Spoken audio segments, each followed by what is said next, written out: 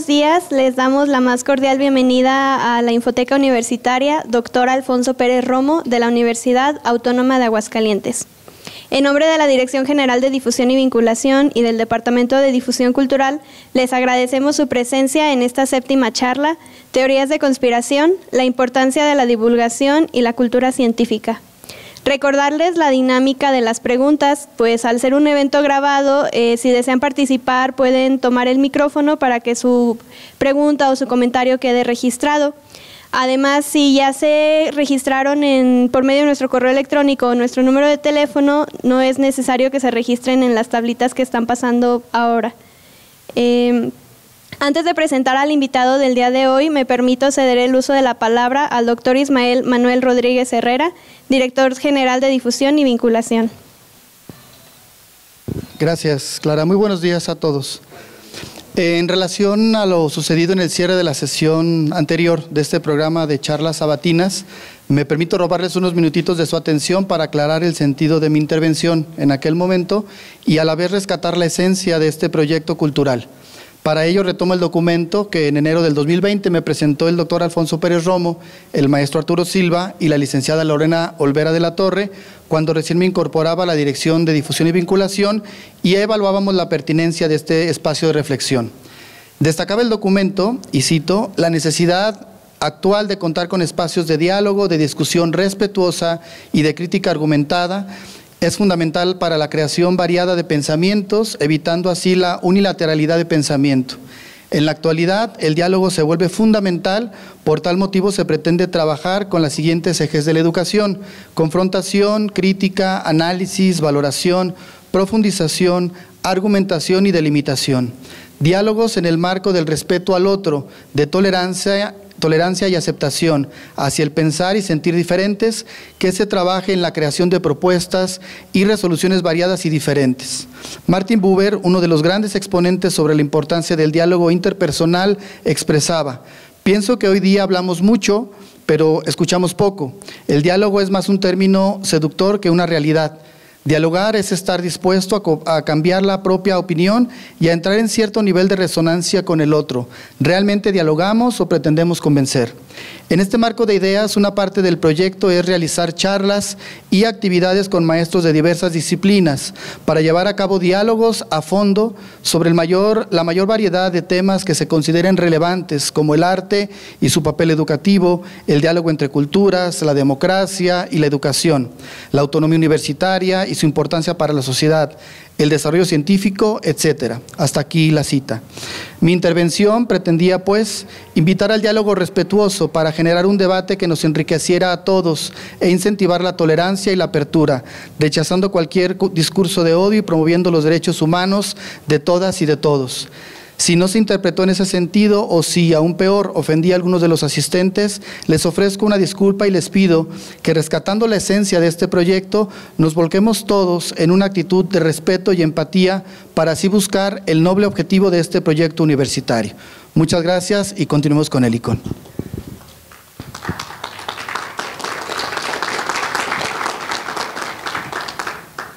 Muchas gracias. En este momento cedo el uso del micrófono a la maestra Ingrid Pérez Tangasi, quien nos presentará al invitado del día de hoy.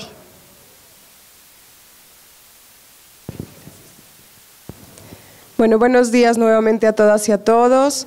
El día de hoy nos complace mucho presentar al maestro Julián Potier, quien es eh, maestro perdón, en Ingeniería Química por la Escuela Superior de las Industrias Químicas en Nancy, Francia astrónomo aficionado desde 1997.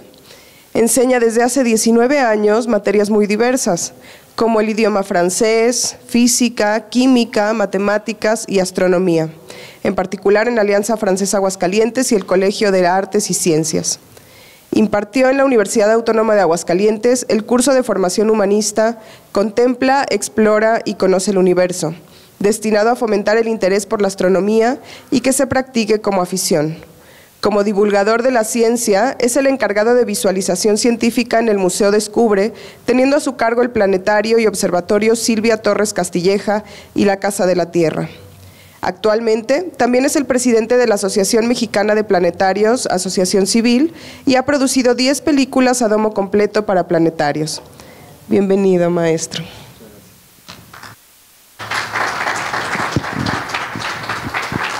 Muy bien, pues muy buenos días a todos. Muchas gracias por, por asistir a la, a la charla. Este, pues bueno, ya, ya me presentó Ingrid. Este, pues pueden ver que pues es, la divulgación afortunadamente es algo que puedo realizar de manera este, profesional, que la verdad muchos realizan muchas actividades de divulgación científica por amor al arte, porque poco presupuesto hay para esa parte, ¿no? Este, a final de cuentas, cuando, por ejemplo, hablamos de esa, de esa palabra muy, muy importante que es cultura, quizás la ciencia no es lo primero que nos viene a la mente, ¿no? Escuchamos cultura y pensamos muchas veces quizás más en arte, música, eh, historia y demás, pero la ciencia a veces quizás está un poquito menos, menos visible. Entonces, la idea es, bueno, sin embargo, que pues tiene obviamente mucha importancia cada vez más en la, en la sociedad actual, en la cual pues está cada vez más presente y vivimos en una era completamente tecnológica.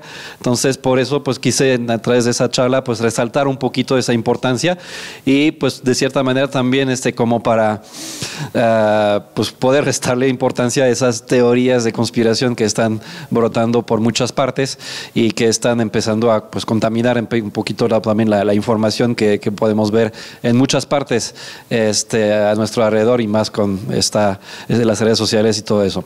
Entonces, pues esa es la, idea de, esta charla. Eh, igual, este, nada más le pongo acá, ¿verdad? ahí está. No, no es así. Segundito. Ok, ya. No, tampoco. Ya está, ahora sí. Y la verdad es que la ciencia es quizás justamente una de las partes de la cultura un poquito menos visible, ¿no? Este, eh, yo bueno, laboro este, muchas veces para tratar un poquito de cambiar esa parte, porque se puede hacer, bueno, por ejemplo, es el caso el día de hoy, pero también de muchas actividades que realizamos en el Museo Descubre, de este, que pues justamente en lugar de ir al cine o de ir este, a alguna actividad cultural, del resto de la cultura que no sea científica, este, que, hay muchas obviamente, conciertos y lo que quieran, este, pues también tener esa posibilidad de tener eventos. Uh, donde la podamos pasar bien, pero al mismo tiempo ir aprendiendo acerca de, temas de ciencia. Y bueno, pues hay, quizás ahí, bueno, puse algunos, pues la parte que me parece más visible, más, este, como decir, uh, visibilizada, más mediatizada también de la ciencia, que es la, justamente los divulgadores. Todas esas personas en general, pues sí, son, científicos de cierta manera, pero muchas veces dejaron de ser investigador para dedicarse a comunicar y a interesar a la gente en la ciencia y la tecnología. Eh, probablemente, bueno, conocen a algunos de ellos por lo menos. Ahí está el famoso Neil deGrasse Tyson, que este, suelo decir que es mi colega porque este, él se encarga del planetario de Nueva York, ahí en, el Museo Americano de Historia Natural, este, ahí al, lado, al ladito de, Central Park, eh, una de las mayores instituciones de, dedicada a la divulgación en Estados Unidos y pues el conductor de la nueva serie de Cosmos que este, pues también se eh, volvió en una nueva etapa ahí recientemente. Stephen Hawking, que ya no está entre nosotros, pero que pues más allá también de sus investigaciones, pues también tenía esa labor muy presente de poder divulgar la ciencia, de poder interesar. Eh, y con, bueno, esa, aparte de todas las limitaciones, incluyendo el propio uso de la voz, ya que utilizaba un sintetizador vocal para hablar, aún así este, pues lograba interesar a muchísimos y mantener hasta un cierto sentido del humor cuando pues hablaba a través de esa, de esa computadora. ¿no?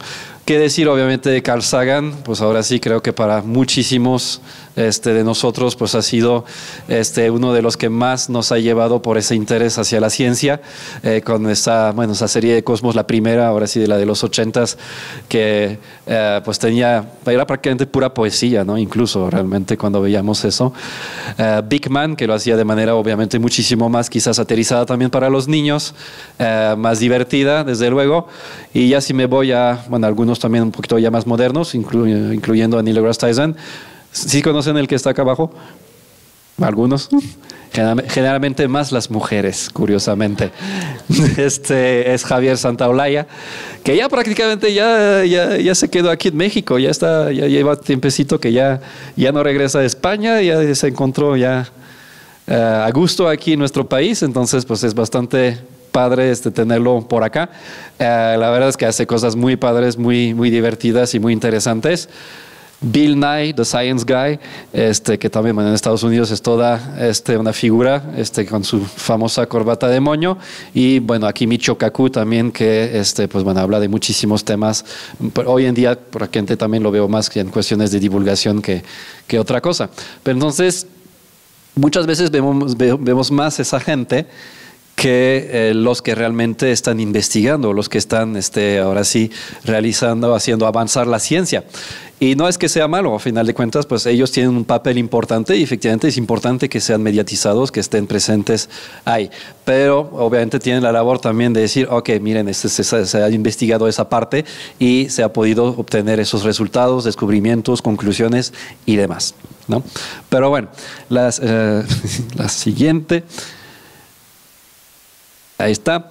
Desgraciadamente, este, también todavía en nuestra cultura moderna todavía tenemos una cierta percepción de la ciencia que no siempre es la más positiva que, que se podría esperar, a pesar de, pues todos, todos usamos todos los días este, tecnología que viene a final de cuentas de descubrimientos científicos. Eh, y aún así pensamos que, bueno, porque ahora sí quizás la, la cultura popular y las películas nos han uh, presentado la ciencia o los científicos como personas medio alocadas, este, a veces malvadas donde, bueno, pues ahora sí podríamos debatir sobre la, la necesidad de la, de la, experimentación animal, pues, estoy convencido de que sí hubo excesos, pero obviamente de cierta manera también se necesita ese tipo de pruebas. Bueno, ahí está el doc, que obviamente es la figura típica de, del científico este, medio loco, que en ese caso, bueno, un genio, pero pues ahora sí un poquito eh, deschavetado. Eh, que decir obviamente del doctor Frankenstein, por supuesto, y bueno, también en cosas más recientes, hasta cerebro, este, de, esas famosas caricaturas de Pinky Cerebro, que también pues ese ratoncito de laboratorio, un, genio también malvado que quería conquistar el mundo. Afortunadamente no lo lograba, pero lo intentaba como cada noche, ¿no? Y este Megamente, que bueno, también este, pues ahora sí es el genio malvado, pero afortunadamente ya en la película termina haciendo cosas buenas. Y puse una figura un poquito más real también, pero ahorita bastante de moda, que es Roberto Oppenheimer, eh, donde pues obviamente, digo, a final de cuentas, él tuvo pues ese papel importantísimo que fue de desarrollar la bomba atómica, ¿no? Y obviamente un peso ético grandísimo este, sobre los hombros, hasta lo apodaron, como ya saben, el destructor de mundos porque obviamente en aquel tiempo, pues aparte que realmente las bombas atómicas tenían un poder destructivo enorme, pero no se sabía realmente qué tan grandes podían ser esos efectos eh, y, algunos pensaban que podía incluso este, una sola bomba atómica pues tener consecuencias drásticas sobre, sobre el planeta. Afortunadamente no fue así. Eh, pero bueno, nos recuerda, a final de cuentas, eh, muchas veces el científico no es el que este, toma esas decisiones. A final de cuentas le, tocó esa decisión al final a este eh, Roosevelt, al final de cuentas, y a Hoover después. Eh, pero a pesar de las cartas justamente que escribió Einstein para tratar de disuadir de usar la bomba atómica, ¿no? Este,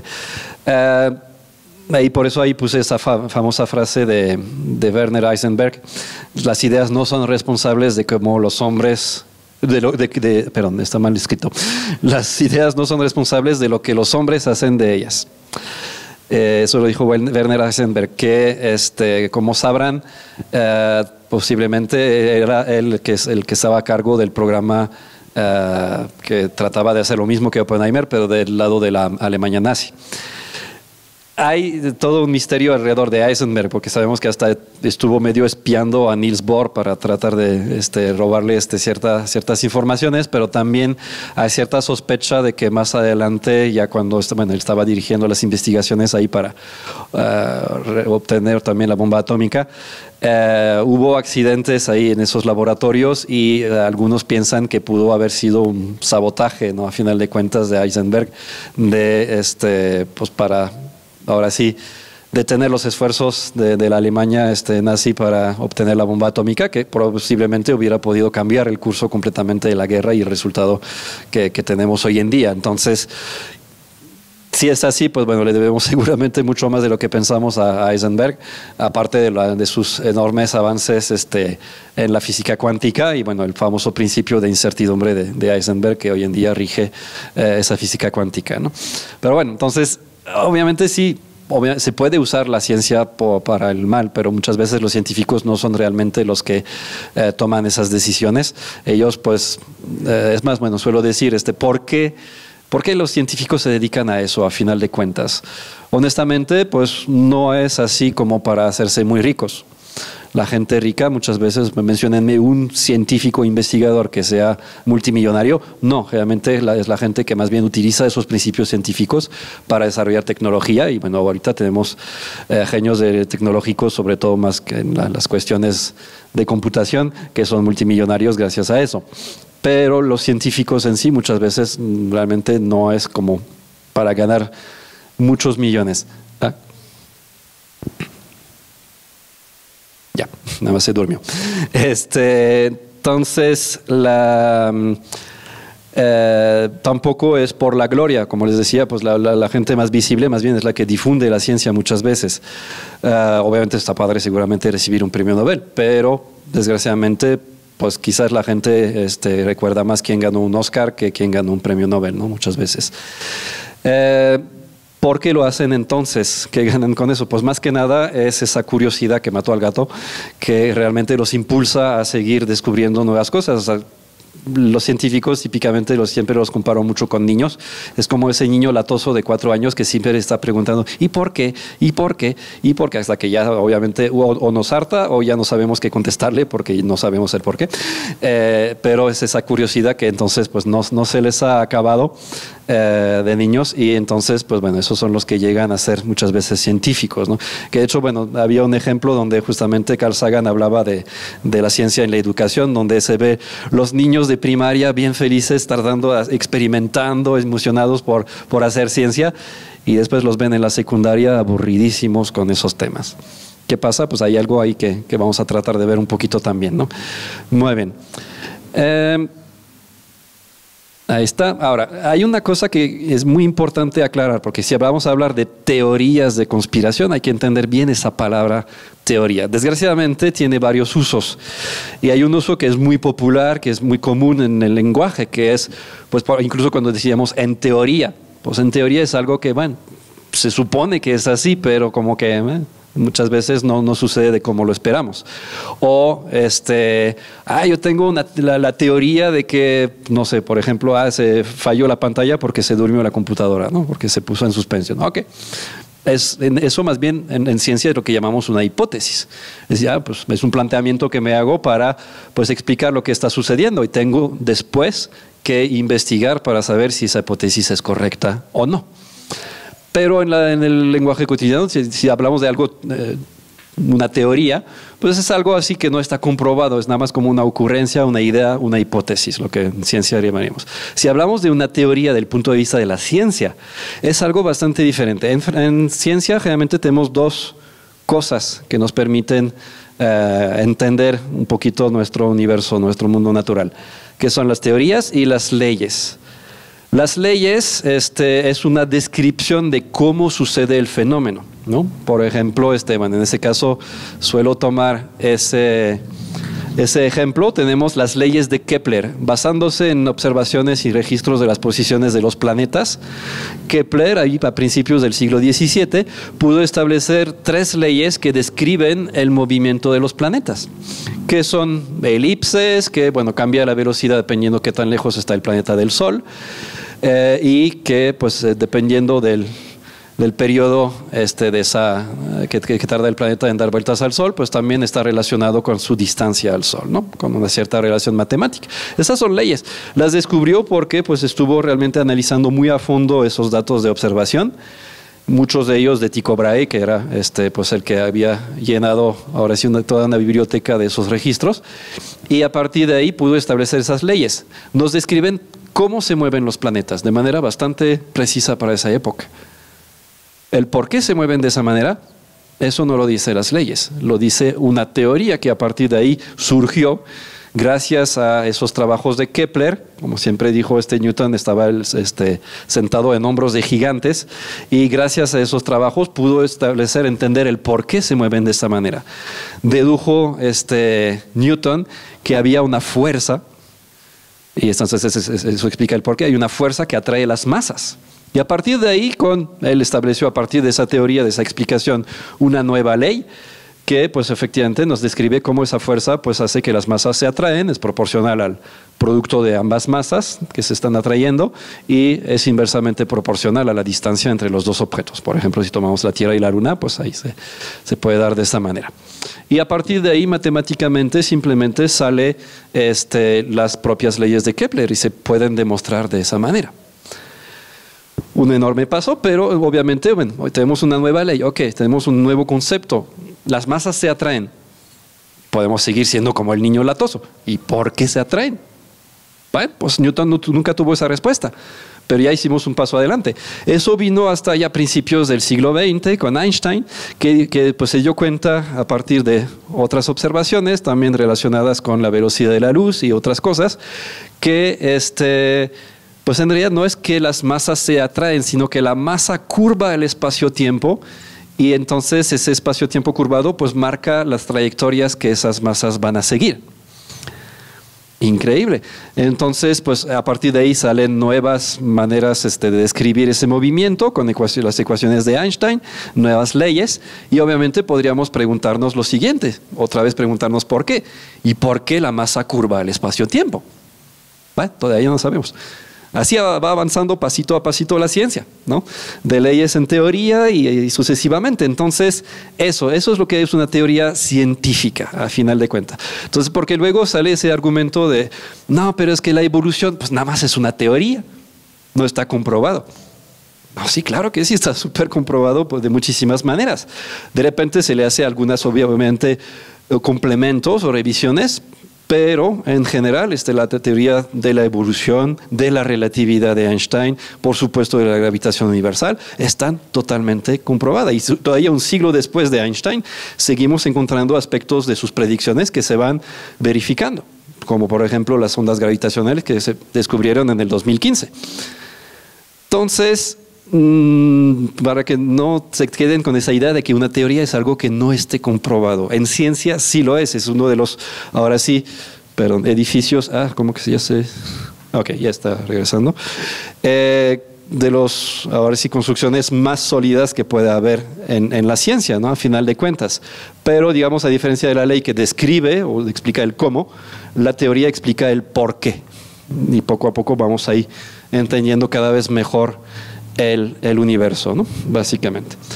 Y bueno, ¿qué pasa entonces? ¿Por qué? ¿Qué, ¿Qué pasa con esas teorías de conspiración? Pues bueno, Ahí este, quiero hablar un poquito de psicología. No es mi fuerte, pero tengo una esposa que es psicóloga. Y entonces eso de repente me ayuda a entender un poquito, pues esa... Digo, yo tengo mucho respeto por la gente que estudia ciencias sociales.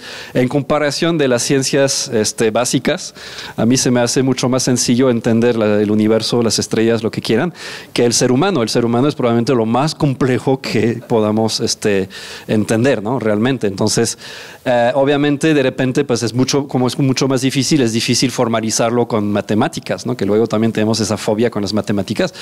Cuando las entendemos es una herramienta fantástica y nos permite cosas impresionantes. Es bastante más difícil poner el ser humano y su comportamiento en ecuaciones. Por eso, pues... Ah, todavía se salvan, entre comillas, pues que estudian también ciencias sociales, decía, ah, este, me voy a meter ahí por, porque no hay matemáticas. Eh, tarde o temprano va a llegar, digo, para que no se confíen.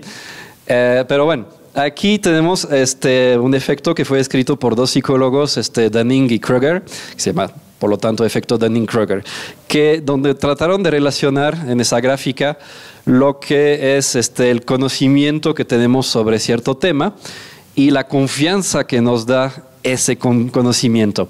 Y ahí encontraron que de manera general, pues hay una cierta curva que, que se sigue, ¿no? A medida que vamos aprendiendo de algún tema. Cuando empezamos desde no saber nada a saber poquito, todavía, estamos subiendo eh, ahí en confianza y empiezo a entender cosas y está padre. es una sensación muy grata, pero desgraciadamente también quizás nos da de repente más, demasiada confianza, decir, ah, pues sí, es que ahora sí ya me lo sé.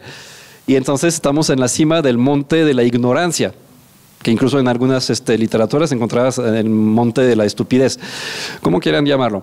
Este, y pues a muchas personas les pasa. El problema es que si nos quedamos aquí, pues vamos a tener gente bastante mal preparada, pero con una enorme confianza en sus conocimientos y que van a estar queriendo convencer a todo el mundo de eso. ¿Ok? Eh, después, cuando seguimos este, metiéndonos un poco más profundo en el tema, nos damos cuenta que era bastante más complejo, abarca mucho más de lo que quizás esperábamos, y vamos cayendo en ese valle de la desesperación. Ahí están la mayoría de los alumnos de secundaria con las matemáticas y la ciencia. Se dan cuenta que, ay, no, no le entiendo nada, está muy complicado, mejor estudio otra cosa.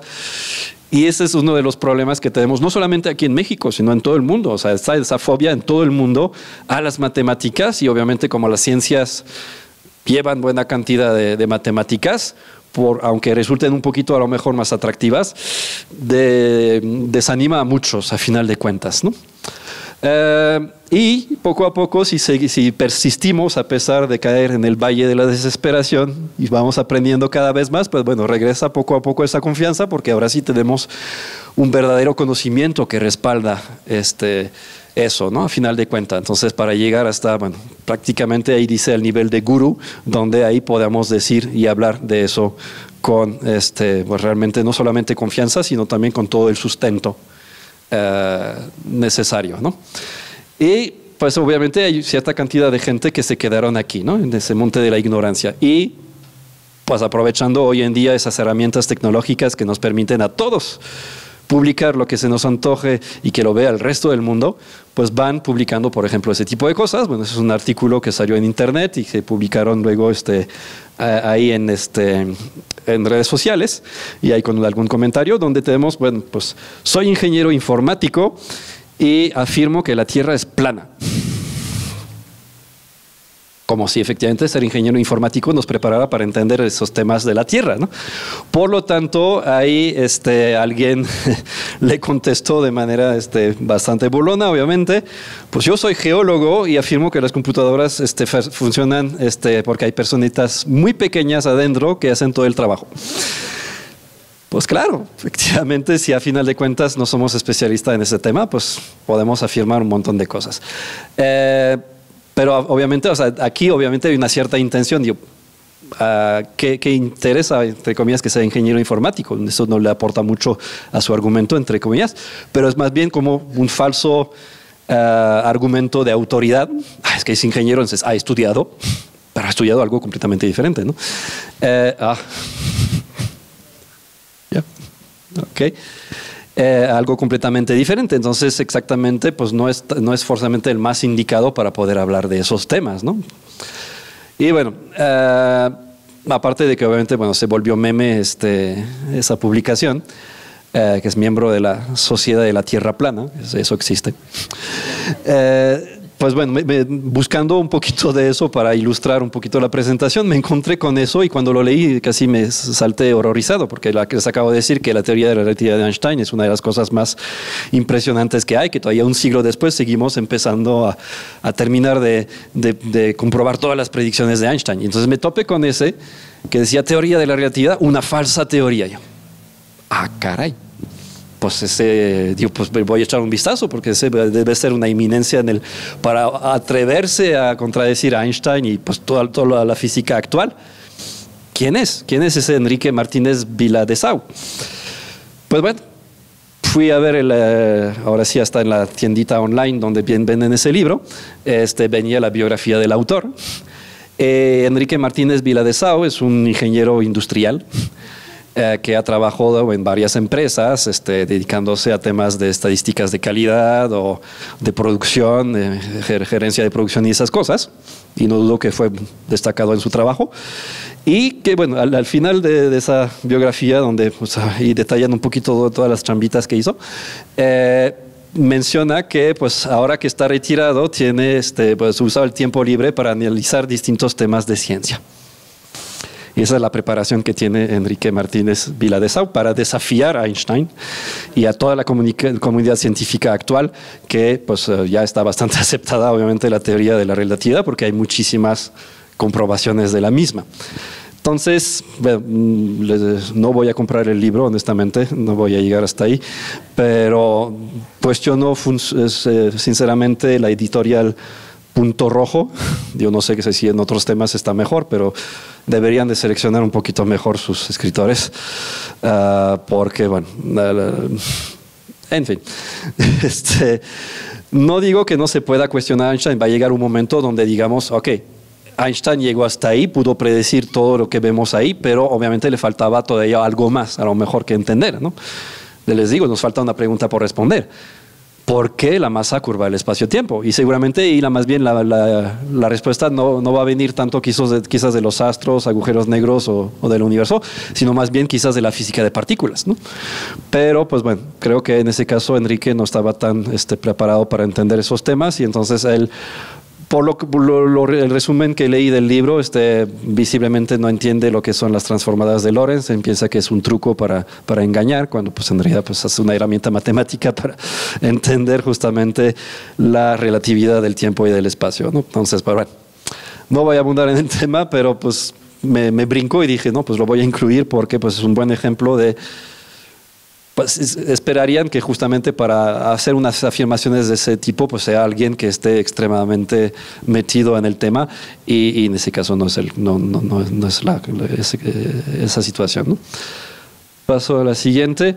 Y bueno, desgraciadamente eh, vivimos en la era de la información, ¿no? Por doquier tenemos acceso hoy en día, bueno, eh, obviamente todavía es muy grato ver bibliotecas con todas esas obras porque eh, es una suma de conocimiento impresionante, pero efectivamente hoy en día también sabemos que podríamos tener prácticamente lo mismo en nuestro bolsillo, en nuestro celular, este, si tenemos la capacidad suficiente y hoy en día muchos celulares lo tienen. Entonces vivimos con muchísima información disponible pero todavía no vivimos en la era del conocimiento, porque hay mucha información que, pues bueno, incluyendo la de Enrique, probablemente no sea tan, este, me va a odiar, el, espero nunca me encontrarme, ¿no? Este, pero, uh, ni modo, se atravesó en mi camino. Uh, pero básicamente, o sea, ahí estamos expuestos a un montón de, cosas, ¿no? Incluso, pues, gente difundiendo información incorrecta, ya sea involuntariamente, que en ese caso, tío, nada más se tendrían que tener la humildad de a lo mejor aceptar de que este, no son los más indicados para hablar del tema, eh, o gente que lo hace adrede, con algún fin ya, este, ya de lucro o, más malvado todavía. Eh, y bueno, ahí puse algunos ejemplos, porque eso no es una cosa tan nueva tampoco.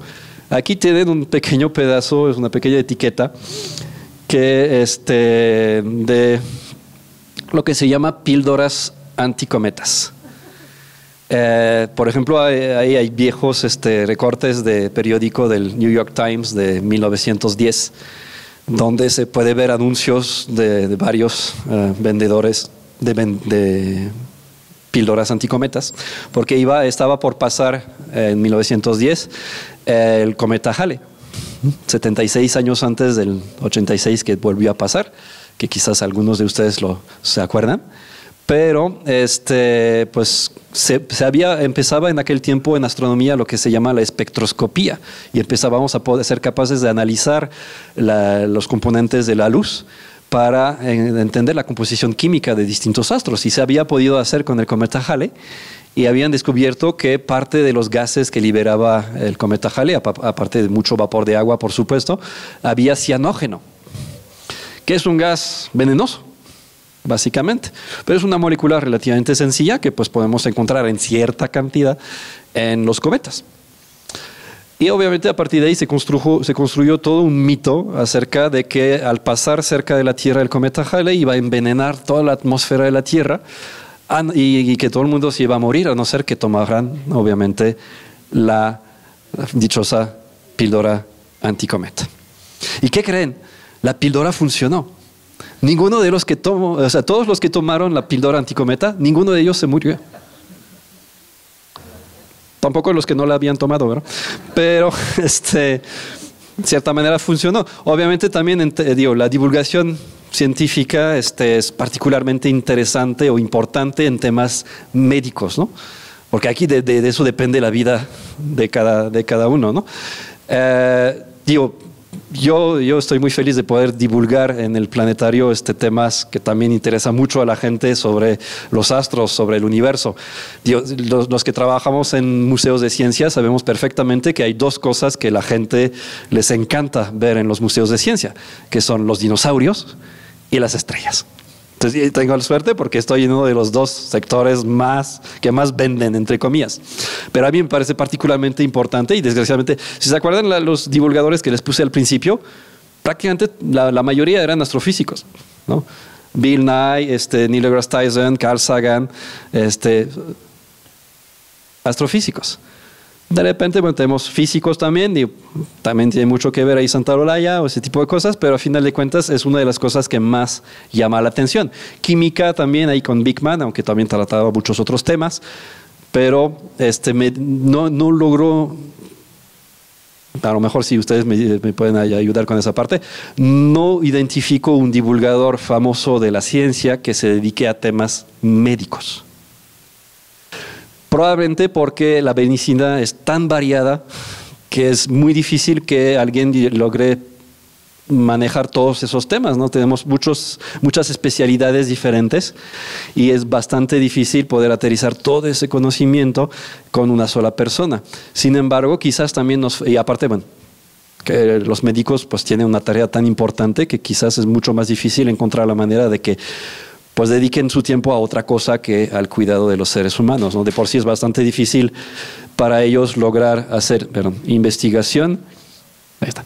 Eh, entonces, para que no, es, para mí no sería pérdida de tiempo, pero quizás obviamente no le damos la prioridad a que puedan difundir esos temas ahí. Por eso, pues vimos los resultados en la reciente pandemia. ¿no?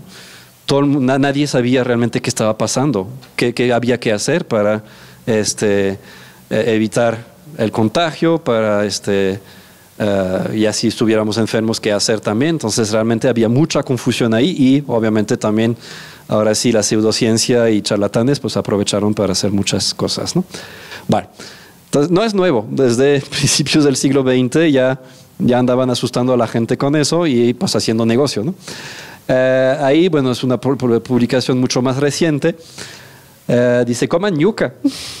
En Estados Unidos la venden congelada, bueno, que pues, supuestamente ayuda con el cáncer, eh, que eh, después, bueno, de algunas investigaciones dicen que supuestamente ahí eh, la yuca contiene una cierta vitamina B17, la cual no existe o solamente algunas personas llaman a esa molécula en particular vitamina B17, pero nada más llega hasta B12 y de hecho se brinca algunos números en el camino.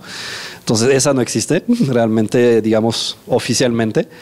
Eh, y entonces, bueno, y me, me, encanta porque es un testimonio, ¿no? Entonces dice, resulta que la yuca tiene vitamina B17, así que comí 10 gramos de yuca tres veces al día. Después de comer yuca, bueno, pero esa persona tenía eh, tratamiento para cáncer de la vejiga. Eh, después de comer yuca durante un mes, mi médico examinó mi vejiga en busca del cáncer y estaba sorprendido porque mi vejiga estaba completamente limpia y normal. Mientras seguía comiendo yuca, me sentía muy en forma y muy saludable. Cada tres meses iba a hacerme el chequeo y mis resultados permanecían limpios. Desde entonces solo comí yuca y no continué con otros medicamentos para el cáncer. Lo cual, bueno, los testimonios en ciencia es una de las evidencias menos convincente que pueda haber, en particular en medicina porque obviamente la parte sugestiva también es muy fuerte, ¿no? Y con todos hemos escuchado del famoso efecto placebo, ¿no? Básicamente, cuando hacemos experimentación sobre una medicina, este, tenemos dos grupos, ¿no? Vamos a decir que de este lado es el grupo que sí le vamos a dar la molécula activa, y de este lado les vamos a dar un tic-tac, este, diciéndoles es la medicina experimental, se van a sentir mejor. Y cierta cantidad de ustedes se van a sentir mejor. Porque, ah, pues es que me, dieron algo experimental, va a funcionar y todo. Ahí este, vemos el poder de la mente humana sobre el cuerpo que existe. Y eso es lo que llamamos el efecto placebo. Una medicina, supongamos, no sé, no sé cuántos son de este lado, pero vamos a decir que unos 30, eh, sí, a lo mejor este, 5 se sintieron mejor y de este lado, bueno, otros 30, pero de esos 25 se sintieron mejor, pues hay un claro este, deslinde o digamos una separación con el efecto placebo. Hay una neta diferencia. Si en realidad obtenemos más o menos lo mismo de ambos lados, en realidad no se puede atribuir a esa molécula, realmente. Es el efecto placebo. Hay muchas, desgraciadamente, cosas que nos venden luego, este, ah, que, bueno, en ese caso con la, como la yuca, obviamente les van a decir que ya lo pusieron en una capsulita y las van a comprar y se van a sentir mejor con eso. Y no pasa simplemente este, pues el efecto placebo, a final de cuentas. Y obviamente, pero esa gente vende esas pastillas porque van a poner testimonios de gente que obviamente tuvo una recuperación milagrosa. Eh, en el caso del cáncer, pues bueno, sí tendría que ser. Obviamente, ¿qué, ¿qué, pasó ahí? A lo mejor sí estaban haciendo efecto las medicinas contra el cáncer que estaba tomando.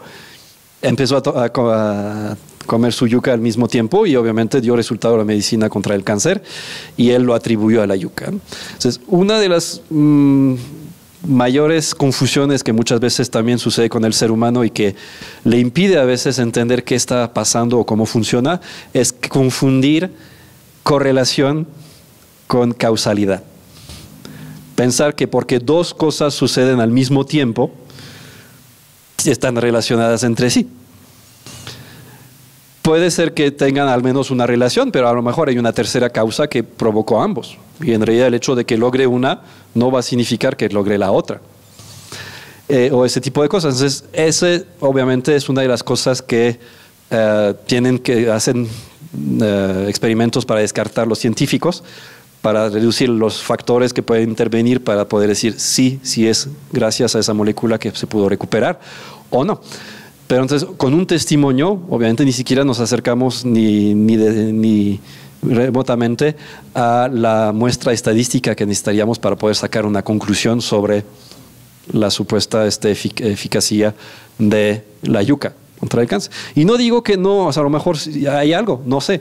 Sería cuestión de hacer una investigación, pero un testimonio definitivamente no es una evidencia válida. Okay. si queremos realmente demostrar eso, pues vamos a hacer un estudio clínico con un grupo de control, otro grupo que, que va a tomar este, realmente la molécula activa y vamos a ver qué pasa. Pero no solamente con un testimonio de alguien que, quién sabe si está cierto, o sea, a lo mejor el que escribió eso pues quiere vender y se, se lo inventó y parece milagroso, ¿no? Si recuerdan ahí todos los charlatanes que iban en sus este, carros ahí por el medio oeste vendiendo las medicinas milagrosas del doctor no sé quién, este, pues era su discurso, cura las eh, uñas encarnadas, este, el dolor de hígado y todo lo que se pudieran imaginar. Y obviamente la gente, ¡Ah, ¡qué padre! Pero bueno, este, ahí puse otra que, bueno, esa es una cadena que fue bastante me ha, llegado a mi WhatsApp este, hace ya algo de tiempo. Y llegaba así, ¿no? Entonces la, voy a leer para los que están un poquito más lejos. Eh, viene un enlace a un artículo de National Geographic, ¿no? Pero dice, aviso importante. Hoy en la noche, lo cual significaría que todo el mundo tendría que haberlo recibido el mismo día, pero en realidad no. Este, hoy en la noche, desde las 12.30 am hasta las 3.30 am, es muy específico, eh, no se olvide de apagar su celular, tableta, computadora, etcétera, y ubicarlo muy distante de su cuerpo, por si les gusta abrazar el celular o, la tablet mientras duermen, este, no lo hagan, ¿no? La Singapore TV anunció esa noticia. Por favor, digan a sus parientes y amigos, a los demás que se mueran. Este, esta noche, a partir de las 12.30 del mismo horario, nuestro planeta estará con una radiación altísima que es altísimo. ¿De qué estamos hablando? Los rayos cósmicos, que en realidad se supone no tienen que ver con el Sol, pero aquí ya cambiaron a hacer ahora rayos cósmicos, van a pasar muy cerca de la Tierra. Ah, bueno, pues si es cerca, no es en la Tierra, ¿no? Bueno. Em, entonces, por favor, apague su teléfono celular, no deje el equipo cerca de su cuerpo, pues le puede causar daños terribles. Y esa es la parte que más me encanta de esa publicación. Si no cree, escépticos. Si no cree, puede verificar en Google y la NASA BBC News. ¿Ok? Envíe este mensaje a todas las personas importantes para usted. Las otras que se mueran. Ok, Bueno. Obviamente, si fuera tanto riesgo, pues quizás habría un anuncio a nivel nacional en las noticias, ¿no? Creo. Eh, y viene un, un um, enlace a un artículo de National Geographic sobre una gran tormenta solar que sucedió en enero de 2012, que efectivamente es cuando tuvimos un pico de actividad solar. Obviamente el mensaje llegó a fechas muy disparatadas este, hasta el 2019, todavía lo he visto por ahí circular, y obviamente no tiene absolutamente nada que ver, ¿no? Este, simplemente abren el... Pero el hecho de que mucha gente no va a dar el clic ahí para ver ese artículo y se va a quedar, ah, no, pues es que hay un artículo de National Geographic que lo respalda y se van a quedar con eso. Otra cosa es que a mí ya cuando vi eso ya me había llamado mucho la sospecha, sobre todo cuando me ponen eso es como que si no cree, no, pues no, no creo. y fui a buscar Google, pues verifiquen en Google. O sea, Google es, el buscador, ¿no? Es, este, no es una fuente de, información siquiera, es el buscador de información. Pero bueno, y NASA, BBC News, bueno, son dos cosas diferentes para empezar. Eh, para buscar, hay tantas cosas diferentes en NASA y en BBC News que para encontrar algo, pues está cañón. Pero pues viene con un artículo de National Geographic, entonces eso es ser bueno. Eh, digo, por curiosidad dije, bueno, voy a buscar. ¿Qué tal, qué, dice Singapore TV? No? no existe Singapore TV. Obviamente hay bastantes cadenas de televisión en Singapur, pero ninguna se llama Singapore TV. pero obviamente es tan, remoto, tan lejano que muchas personas ni siquiera se van a dar la, molestia de ir a buscar. ¿no? pues Singapur, aparte quién sabe qué hablan, este, allá. Ok, bueno. Y esa es una táctica común también, este, ah, este, digo, no voy a poner nombre, pero este, eh, hay, eh, básicamente también un, pues probablemente algo similar a ese tipo de cosas en el ámbito médico, donde decía, ah, es que cuando empecé a hacer preguntas un poquito más específicas sobre su, su producto, decía, no, es que eso no te lo puedo decir porque está pendiente de patente. Ah, ok, qué padre. ¿Dónde puedo consultar la patente? Ah, no, es que pues, le estamos pidiendo la patente en Rusia. En Rusia. Aquí de México, ¿no? Porque hasta allá, bueno, obviamente también aquí estaban jugando con una cierta desconocimiento a lo mejor de la, de la gente de cómo funciona una patente. Una patente no es un secreto. Una patente es algo que puedes consultar y justamente decir, ah, ok, bueno, es que tuve la misma idea, pero pues ya me ganaron. O sea, si quiero usar eso, ese principio, pues tengo que pagar regalías. Pero al contrario, justamente no puede ser secreto, porque tienes que poder enterarte y decir, ah, ok, bueno, pues está registrado ya esa cosa. Y la oficina de patente básicamente lo que va a hacer es registrar las ideas que son nuevas, que no se han registrado antes. Y este, si llegas y tú quieres patentar algo, pero ya está registrado, te van a decir, ah, no, ya está. Les ganaron. Entonces no lo, ya, si no es una idea original, entre comillas pero no es un secreto. Obviamente si ya tienes que ir a buscar en el sitio de la oficina de patentes en Rusia, pues si no hablas ruso se vuelve bastante más complicado. Entonces obviamente por, de esa manera es como tratan de disuadir. Y obviamente evitan o tratan de no querer dar más explicación porque ya, vieron que te pusiste más técnico y, obviamente no tienen la respuesta. Eh, y entonces te dan a ir con eso. Ah, no, es que no te puedo decir eso porque está protegido por la patente. La patente no es para o sea, es para proteger la propiedad intelectual, pero no la idea en sí. Al contrario, la idea ya está, entre comillas, registrada y publicada en la oficina de patentes. ¿no? Entonces, bueno, ahí se aprovecha el poco conocimiento que luego tiene la gente sobre eso y eh, para, pues, bueno, evitar meterse en temas que, pues, ya podrían demostrar que efectivamente no, no es eh, funcional, ¿no? Básicamente. Pero bueno, entonces, si ven cosas de esas, pues sí, traten, hay muchas, obviamente, hasta entramos ahí como en el rumbo un poquito casi de la, de la literatura, ¿no? Este, hay que buscar falacias retóricas que están presentes en este tipo de cosas para este, justificar, ¿no? Básicamente. Bueno, por ejemplo, esa es una de ellas. Argumentum ad ignoram. Ignorantiam, perdón. Este, lo que llamamos argumento desde la ignorancia, que es algo que muchos en las pseudociencias eh, van a utilizar en las teorías de conspiración. A ver, pruébame que no es cierto. A ver, Así no es como funciona. De hecho, ese es un principio incluso legal bastante viejo y bastante conocido. La carga de la prueba, o les gusta mucho en latín en esas cosas, este, el onus probandi, el que afirma está obligado a probar. Si tú me dices, bueno, por ejemplo, esa idea bastante absurda también aquí, que el sol está hueco por dentro, ahí dices, y como no puedes probar lo contrario, pues es verdad. No, quien tiene que probar que es así es el que está afirmando. Porque es muy, muy sencillo aventar la pelota del otro lado. Entonces, aguas con eso porque pues, es típicamente lo que llamamos falacias retóricas que este, realmente pues, tratan de convencer de algo, pero no de la manera adecuada, a final de cuentas. Hoy en día, incluso, bueno, porque a lo mejor podría parecer complicado demostrar que el sol esté o no hueco. Eh, pues solamente vemos la superficie, está muy caliente, nadie va a llegar ahí. Eh, pero hoy en día hay algo que se llama heliosismografía, donde básicamente podemos incluso detectar o deducir la presencia de manchas solares del lado que no podemos ver del Sol, del otro lado.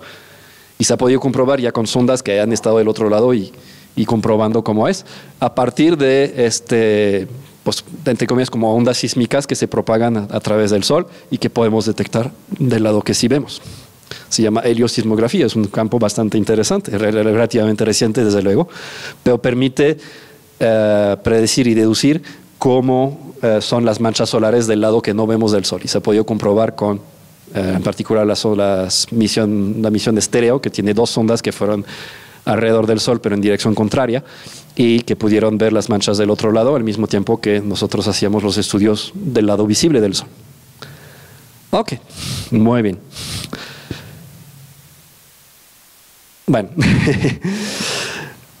afortunadamente, poco a poco siento que en nuestros tiempos, poco a poco la ciencia está empezando a ganar interés ¿no? El hecho de que, bueno, yo hace 10 años empecé con un evento nocturno en el museo cada, cada mes que se llama Descubre la Noche, eh, donde pues la gente pueda pasar al observatorio, disfrutar del planetario y abordamos temas cada mes diferente de astronomía para pues, hacer esa divulgación y la verdad es que la pasamos muy bien, es una noche diferente eh, y pues ha tenido bastante, bastante éxito. Eh, entonces hay un interés creciente, yo creo, de la población, porque empezamos a darnos cuenta que la ciencia no solamente es para los científicos o los ingenieros o los que hacen tecnología. En realidad, hoy en día, en nuestra vida cotidiana, necesitamos entender un mínimo de temas de ciencia y tecnología para no caer en trampas como esas, ¿no? En estafas y demás. Y tomar sobre todo las decisiones pertinentes porque la verdad, les voy a ser sincero, nuestros políticos no tienen mucha idea tampoco de ciencia. si no estamos aquí para decirles, ¿saben qué? Pues eso es, con nuestro voto, decir, ah, eso es lo que tenemos que hacer para el medio ambiente, para este, el uso de ciertas tecnologías más controversiales o lo que sea. Eso es nuestro deber también como ciudadano, pero no lo podemos ejercer si no tenemos ese conocimiento si no entendemos un mínimo. No, no obviamente no se trata de que nos volvamos especialistas, pero sí de tener un mínimo entendimiento de qué está pasando, ¿no? Okay. Obviamente a partir de ahí también, este, bueno, yo soy fan de esa película, este, me la pasé rechinando los dientes durante toda la película porque, ay, sí, cierto, eso, eso es lo que nos pasa. Hay mucha gente que nos visita luego en el planetario y hace pues un montón de preguntas, lo cual nos muestra que tienen muy mala información muchas veces. Eh, y, bueno, entonces digo, tienen una idea de la ciencia pues muy, muy errónea, ¿no? Y, y, aparte que efectivamente no es el tema más mediático que hay. Eh, ahí pues luchan bastante por, sobre el hecho de que, eh, pues a pesar de que están gritando al mundo en los medios, viene un cometa a destruirnos, este, tienen más peso las noticias de la farándula. Y bueno, este, aparte, bueno, ese fue otro meme, pero este, sale efectivamente ahí en el equivalente de PBS, ahí este, de, Plaza Sésamo, uh, saliendo. Y cada hombre, mujer y niño en este planeta debería aprender algo de ciencia y astronomía, lo cual efectivamente estoy totalmente de acuerdo. Y alguien pone abajo, no creo que sea importante saber de qué signos son. Lo cual es correcto, pero eso sería astrología. bueno, mucha gente todavía las confunde bastante. Uh, pero bueno, poco a poco ahí va, ¿no? Este, todavía en la actualidad es bastante curioso, en casi todos los periódicos tenemos una sección de horóscopo. A veces más grande que la de, ciencia, ¿no? Que la sección de ciencia. Pero bueno. Eh, esa también, bueno, ah, una de las teorías de conspiración más conocidas también es el hecho de que muchas personas dicen que nunca fuimos a la luna. Cuando, este, digo, obviamente lo, que viene a reforzar un poquito esa idea es que llevamos 50, más de 50 años, ya casi 50, bueno, 52, de 72 fue la última vez. Eh, que no hemos llevado seres humanos a la Luna. No significa que nos ha dejado de interesar la Luna. Hemos mandado muchísimas más misiones robotizadas, porque con lo que gastaban para mandar una misión tripulada a la Luna, se puede mandar fácilmente 30 mm, no tripuladas, eh, robotizadas a la Luna. Entonces, obviamente, las máquinas honestamente nos llevan mucha, mucha ventaja. Eh, cuesta mucho menos mandarlos, no tienen que respirar, así que si no hay aire no pasa nada, no tienen que beber, comer, dormir, trabajan todo el tiempo sin, sin renegar, eh, no hay que pagarles, trabajan gratis y no tienen que regresar, nadie los va a extrañar en realidad. Siguen mandando información, con eso es suficiente. Entonces, obviamente es muchísimas ventajas sobre los seres humanos. Por eso no hemos regresado, porque cuesta una cantidad bárbara de dinero y no había un motivo realmente más allá de la ciencia para llegar ahí. Ahora, estamos por regresar a la Luna. Está en marcha el programa Artemis, eh, que ya, este, ya hizo las primeras pruebas. Se estima que para dos, este año se supone que ya vamos a tener Artemis 2 que va a orbitar la Luna nuevamente con seres humanos. Y para el 2026 deberíamos de tener ya nuevamente seres humanos en la Luna.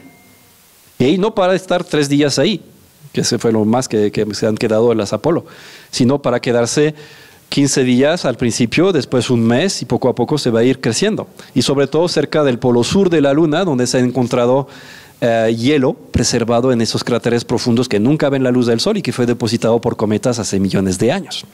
Si hay hielo, pues es agua, podemos sostener la vida humana, podemos generar combustible de cohetes, separando el hidrógeno y oxígeno, y honestamente lanzar cualquier misión desde la Luna con la poca gravedad que hay y la ausencia de atmósfera, va a costar una fracción de lo que cuesta lanzarla desde la Tierra. Cuando ven un, cohete, los 110 metros del Saturno V que llevó el hombre a la Luna, 100 metros eran de combustible, 10 metros era realmente lo que lanzamos. Cuesta una barbaridad lanzar cualquier cosa desde la Tierra. Lanzar desde la Luna, si recuerdan el módulo del unizaje, estaban las patas ahí con papel dorado alrededor y el módulo del unizaje que despegó ahí, ni siquiera tenía una forma aerodinámica porque en la Luna no importa. Y con eso yo logro llegar ya a la órbita lunar, acoplarse con la otra parte donde se quedó Michael Collins, que siempre se, les olvida. Eh, no solamente fue Neil Armstrong y Buzz Aldrin, estaba Michael Collins esperándolos, cuidando la nave, que no se la vayan a robar los extraterrestres. No, obviamente es que en aquel tiempo sí se ocupaba o era preferible tener dos personas de ambos lados para poder acoplarse. Se puede sin, y lo había logrado Neil Armstrong con el Agina, pero prefería, prefirieron este, siempre tener una persona que se quedara ahí para cualquier cosa. Eh, bueno, y obviamente, bueno, eso es otro meme, pero ahí dice, todos sabemos que el alunizaje fue escenificado ¿no? y que fue filmado por Stanley Kubrick, que acababa de sacar 2001 dice al espacio, justo antes y hay muchas escenas en la luna. Entonces dijeron, ah, pues, sin embargo, costó una cantidad bárbara de dinero porque Kubrick, como era perfeccionista, exigió filmar en el sitio. lo cual equivaldría a lo mismo, ¿verdad? Pero bueno, eh, me divirtió bastante ese. Hoy en día, incluso muchas veces cuando me preguntan sobre eso, porque puedo entender que, que, tengamos la duda, pero hay que ponerse, justamente, no quedarse en el pozo de la desesperación, en el valle, ¿no? sino investigar y, adquirir ese conocimiento. Los mejores argumentos muchas veces ni siquiera son científicos, son o políticos o hasta este, cinematográficos. Eh, digo, los rusos estaban en la carrera a la Luna, aunque decían que no. Este, pero sí, sí estaban. Después ya se supo cuando cayó la Unión Soviética. Y pocos, bueno, ya mucho tiempo después se, supo, hasta los años 90 que cayó la Unión Soviética, que los soviéticos, semanas antes del Apolo 11, lanzaron la Luna 15, y eh, que era una misión no tripulada, pero que pretendía alunizar, recoger muestras de rocas lunares y traerlas de vuelta a la Tierra antes de los astronautas de la NASA.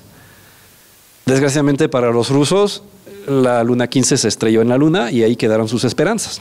Pero pueden estar seguros que con sus propios radares y radiotelescopios estuvieron siguiendo la misión Apolo 11 de la A a la Z, rezándole a todos los santos ortodoxos para que fracasara. Y no fue así, incluso de hecho lo reconocieron en la prensa tiempo después, eh, hasta le otorgaron una medalla a Neil Armstrong, fue a Moscú a recibir una medalla de la Unión Soviética, imagínense lo que significa eso. O sea, es una declaración completamente eh, de que sí reconocemos el logro, porque obviamente hubieran sido los primeros interesados en demostrar una farsa si así fuese. Obviamente, y de hecho, cuando ya ganó Estados Unidos esa carrera a la Luna, la Unión Soviética, ¿cuál carrera? Nosotros ni estábamos en eso, ¿no? Este, hasta que ya se supo en los noventas que sí estaban en eso, pero pues lo mantenían en secreto. Bueno, y, ahí puse esa cita de, bueno, ahorita hablo del GPS, pero este igual aprovecho, ¿no? Vivimos en una sociedad profundamente dependiente de la ciencia y la tecnología y en la que nadie sabe nada acerca de esos temas. Es, ello constituye una fórmula segura para el desastre. Es una frase de Carl Sagan que aparece en varias partes, pero incluyendo el, el mundo y sus demonios. Eh, entonces es, eh, es, una realidad. O sea, hoy, hoy, en día todos tenemos un pedazo de tecnología que supera en capacidad de computación lo que tenía eh, la, la, misión Apolo 11, justamente, que llevó el hombre a la Luna. ¿no? Entonces, eh, ¿cómo funciona? Bueno, pues podemos tener un, un, entendimiento más o menos grande de eso. Sin embargo, hay gente que piensa que eh, con la vacuna del COVID nos pusieron un chip, que con el 5G nos van a controlar la mente a partir de eso. Entonces es pues bastante un muy mal entendimiento de lo que está sucediendo. Ahora aquí, bueno, para, yo tengo un cierto me gusta tirarle a los teraplanistas porque es bastante fácil y, y, absurdo. Entonces, este, ellos dicen que en realidad el GPS no es Global Positioning System, ¿no? Este, es el Ground Positioning System, ¿no? está, está, en el suelo y funciona con las antenas. Me tendrán que explicar cómo funciona en medio del océano el GPS, que no hay antenas ahí obviamente que van a poder llegar a eso. Y este, pues bueno, o sea, a final de cuentas sí es bastante irónico pensar hasta que la gente, esos terraplanistas, usen una tecnología que funciona gracias a satélites que están ahí y defienden aún así la idea que la Tierra es plana. Bueno, eh, pero ellos están en el monte de la ignorancia básicamente, gozando una mucha confianza en su conocimiento, pero poca, poco conocimiento en realidad. Ok, Obviamente, creo que una de las mayores demostraciones de que nos falta mucho más cultura científica y divulgación fue en los años recientes durante esa pandemia, donde pues también ha ido apareciendo ese movimiento bastante aterrador desde mi punto de vista, que es el movimiento antivacunas donde pues definitivamente hay un muy mal entendimiento de cómo funciona la vacuna. Desde gente que dice que provoca autismo, cosa que ha sido comprobado que no, ha sido descartado completamente. Uh, aquí nos dice, ah, este, la vacuna será tu esclavitud, posiblemente es en Colombia o por allá. Primera dosis, segunda dosis, tercera dosis, hasta destruir tu ADN. La vacuna definitivamente no afecta el ADN de las personas, no es su propósito ni su eh, funcionamiento. ¿no? Entonces, ahí dice la cura es peor que el virus, este, que es una manipulación global este, del ARN, de, la gente y que va a matar mucho más millones que el COVID. Bueno, afortunadamente, este, si estamos hoy en día del otro lado, eh, de esa pandemia eh, y que podemos voltear a ver qué pasó ahí, es porque justamente se han logrado eh, desarrollar vacunas relativamente rápido, en cuestión de meses, que es bastante rápido, ¿no? A final de cuentas, y a partir de ahí difundirlas ahí. Bueno, ahí está. No vacuna, no 5G, que no tiene absolutamente nada que ver, eso es tecnología de celular, pero estaban convencidos de que nos iban a controlar con un chip que nos inyectaban con la vacuna. ¿no? Eh, que yo a veces me pongo a pensar, digo, desgraciadamente esas teorías de las conspiraciones eclipsarían por completo una verdadera conspiración que pudiera revelarse, porque como tendemos a descartarlas porque pues, son de conspiración, si hubiera una que fuera realmente correcta, ¿cómo nos daríamos cuenta? Porque a lo mejor parecería igual de absurda que las demás. Entonces, eh, hasta eso es peligroso, ¿no? No deberíamos de estar, pero bueno. Ahí está la, la, vacuna para antivacunas, ahí pueden ver de qué está compuesta bastante claramente. Y bueno, esa es una de las cosas que también sucedió en el, eh, durante la pandemia, eh, donde pues se volvió curiosamente bastante uh, pues solicitado el dióxido de cloro, que es un desinfectante industrial o para albercas, eh, lo que llamamos cloro, cuando se dice, ah, este huele a cloro o sabe a cloro este, en las albercas, es por el dióxido de cloro, eh, que es una molécula con tres átomos, cloro y dos de oxígeno, dióxido de cloro, que pretendiera entonces contrarrestar un virus, que es una, es una molécula, lo que llamaríamos una macromolécula con este, nucleótidos y todo eso, con su código genético, o sus proteínas derivadas, que son las que nos enferman a final de cuentas, pero igual son macromoléculas. ¿Cómo vamos a atacar una molécula de ese tamaño con tres atomitos? Entonces, sí tiene, obviamente, o sea, una, funciona como desinfectante. Es decir, si quieren usarlo para limpiar las superficies, sí era, de cierta manera, efectivo para que el COVID se muriera rápidamente. Pero de tomárselo como cura del COVID, no. este, básicamente, justamente lo usamos para desinfectar las albercas porque mata bacterias, mata virus, lo que quieran. Pero este, digo, no es recomendable tomarse el agua de la alberca, ¿no? este, aparte de todo lo que, lo que nosotros metemos al meter nuestro cuerpo adentro, que de eso no voy a hablar. Pero este, a final de cuentas, este, no es recomendable que se vayan tomando. Para empezar, sabe feo. Y honestamente, después de un rato, pues mata cosas, esa cosa, ¿no? O sea, no los va a matar a ustedes también si se toman demasiado. Pero hay gente que estaba comprando enormes cantidades de dióxido de cloro. Eh, y de hecho, pues hay ahora sí, este, empresas químicas que fueron solicitadas para eso. Y no, es que no es para eso, o sea, no. Eh, pero bueno, muchos no, no, escuchaban. Y ahí puse eso porque, bueno, tuve un pequeño episodio, de repente estaba esa moda, ¿no? Donde este, no, digo, mm, si quieren perder el tiempo de manera bastante poco provechosa, eh, peleen con esa gente en redes sociales. hay, hay manera de perder bastante tiempo con eso. Eh, no, digo, ellas, ellos muchas veces ya tienen sus ideas muy arraigadas y no van a querer escuchar, tienen sus falsos argumentos, entonces no tiene mucho sentido. Y yo recuerdo, me hablaba con, era una persona que se encargaba de un sitio de campamento astronómico en Argentina, que es como la conocí.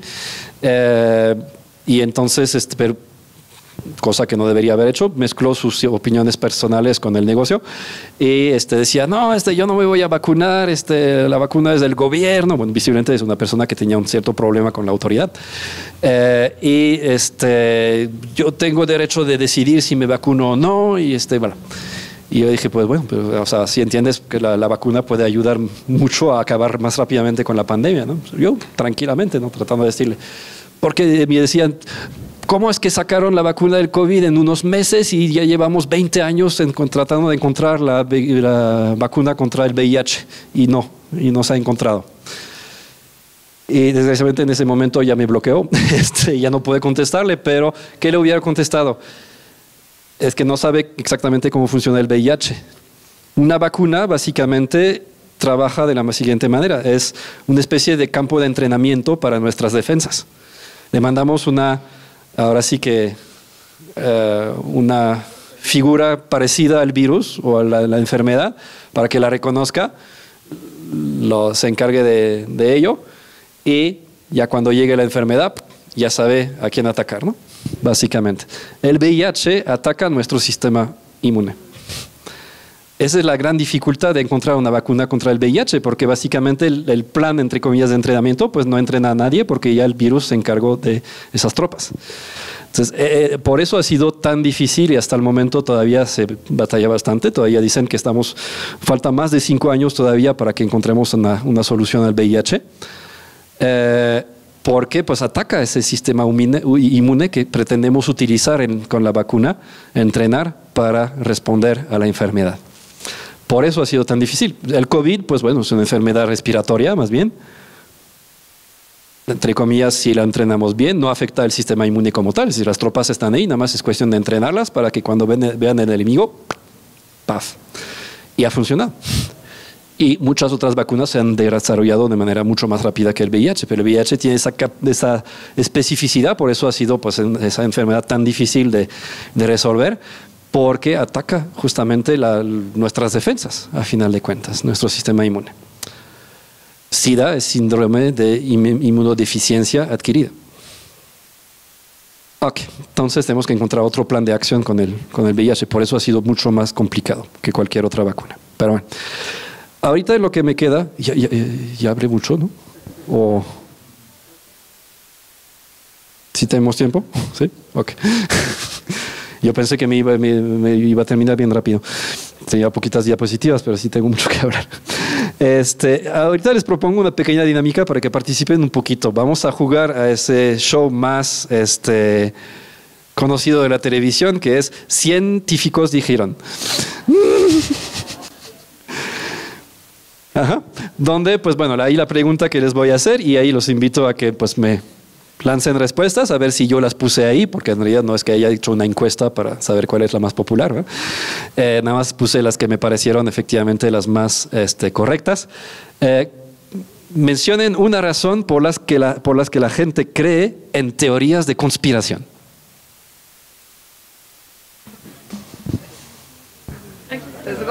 Ignorancia. ¿Cómo? Sesgos cognitivos, esa me encanta. Esa es muy buena. ¿Cómo? Ego. sí. Sí, muy buena. ¿Qué más? No tienen tiempo para investigar. Ajá. Ah, pero tienen mucho tiempo que perder en redes sociales, eso sí. Este. Desinformación. Desinformación, sí. ¿Qué más? Amarillismo, desde luego. Bueno, esa a lo mejor más bien como razones para producir nuevas teorías de conspiración, que es la pregunta siguiente, de hecho, lo guardamos por aquí. ¿Escapismo de la realidad? Escapar de la realidad, esa es buena también. Y sí, sí, sí, definitivamente tiene algo que ver con eso también. Miedo, sí. Ay, sí, efectivamente, falla bastante grande del sistema educativo, por supuesto. ¿Alguna otra? ¿No? Ajá. Manipulación. ok. Que es igual a lo mejor más para, para crear nuevas eh, teorías de conspiración. Aquí está lo que puse. Una, eh, la primera que puse ahí, paranoia, que eso como es una de las grandes especialidades del, de Estados Unidos.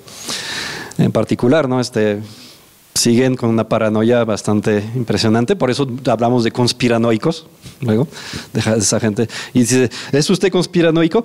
¿Quién le envía? ¿La CIA? vale, Y, sí, se ponen, bueno, este, esa, esa, Dios, yo siempre pienso en esas personas que se preparan, ahí se hacen su búnker al lado de su casa con alimentos para tres años, eh, fuentes de, bueno, cosas para destilar el agua, para no que no les falte agua, armas, por supuesto, porque este, lo primero que va a pasar es que los vecinos van a querer meterse ahí eh, cuando caiga eh, la civilización. ¿no? Bueno, llevamos mm, bastante tiempo con la civilización y algunas han ido emergiendo y han reemplazado otras, pero en realidad que tú digas de un, de un día para otro, cayó la civilización, no, eso no ha pasado. Pero bueno. Esa es una de, mis favoritas también. La explicación, eh, digamos, conspiranoicas, es más sencilla de entender que la verdadera razón científica. Dios, es mucho más fácil de entender. Pues, pues, yo veo que la Tierra es plana. es bastante fácil de entender, o sea, se ve, está plana. No tiene montañas, pero pues en realidad no, no es esférica, ¿no? Es mucho más fácil de entender para mucha gente que y luego, pues, si, preguntan a niños, porque ahora sí que podemos comparar un poquito la mentalidad de esa gente con niños. Si ponen niños frente a un globo terráqueo y les dicen, ah, este, les ponen unos monitos, pon el monito de pie acá, ok, pues aquí se, está bien, y ponlo en Argentina, ah, es que se cae. o sea, ¿cómo, ¿cómo, es que no se cae la gente de Argentina o de Australia? Bueno, es más difícil de entender, ¿no? Ok hablábamos de ego, ¿no? Alguien mencionó ego. Sentirse parte de un grupo que sabe algo que los demás no. Yo sé la verdad. La verdad está allá afuera. Ok, entonces obviamente si alimenta ese ego, decir, es que tú no sabes, nos manipulan para creer que la Tierra es redonda, pero no ir a contracorriente del resto del mundo. Hay gente que le gusta estar en contra de todo lo que los demás piensen, aunque sea este, correcto, ¿no? Pero bueno, va un poquito relacionado eventualmente con eso, con esa chica argentina que mencioné ahí. Ella tenía visiblemente un pleito con, abierto con la autoridad del gobierno. ¿Cómo es que me van a imponer que me vacune? Bueno, el problema es más con la autoridad, el, hecho de que te, quieren obligar o no, que creo que realmente a nadie le han puesto la pistola en la sien para vacúnate, ¿no? No, creo que en ningún país pasó eso, pero pues bueno sensación de no estar en control de sus vidas.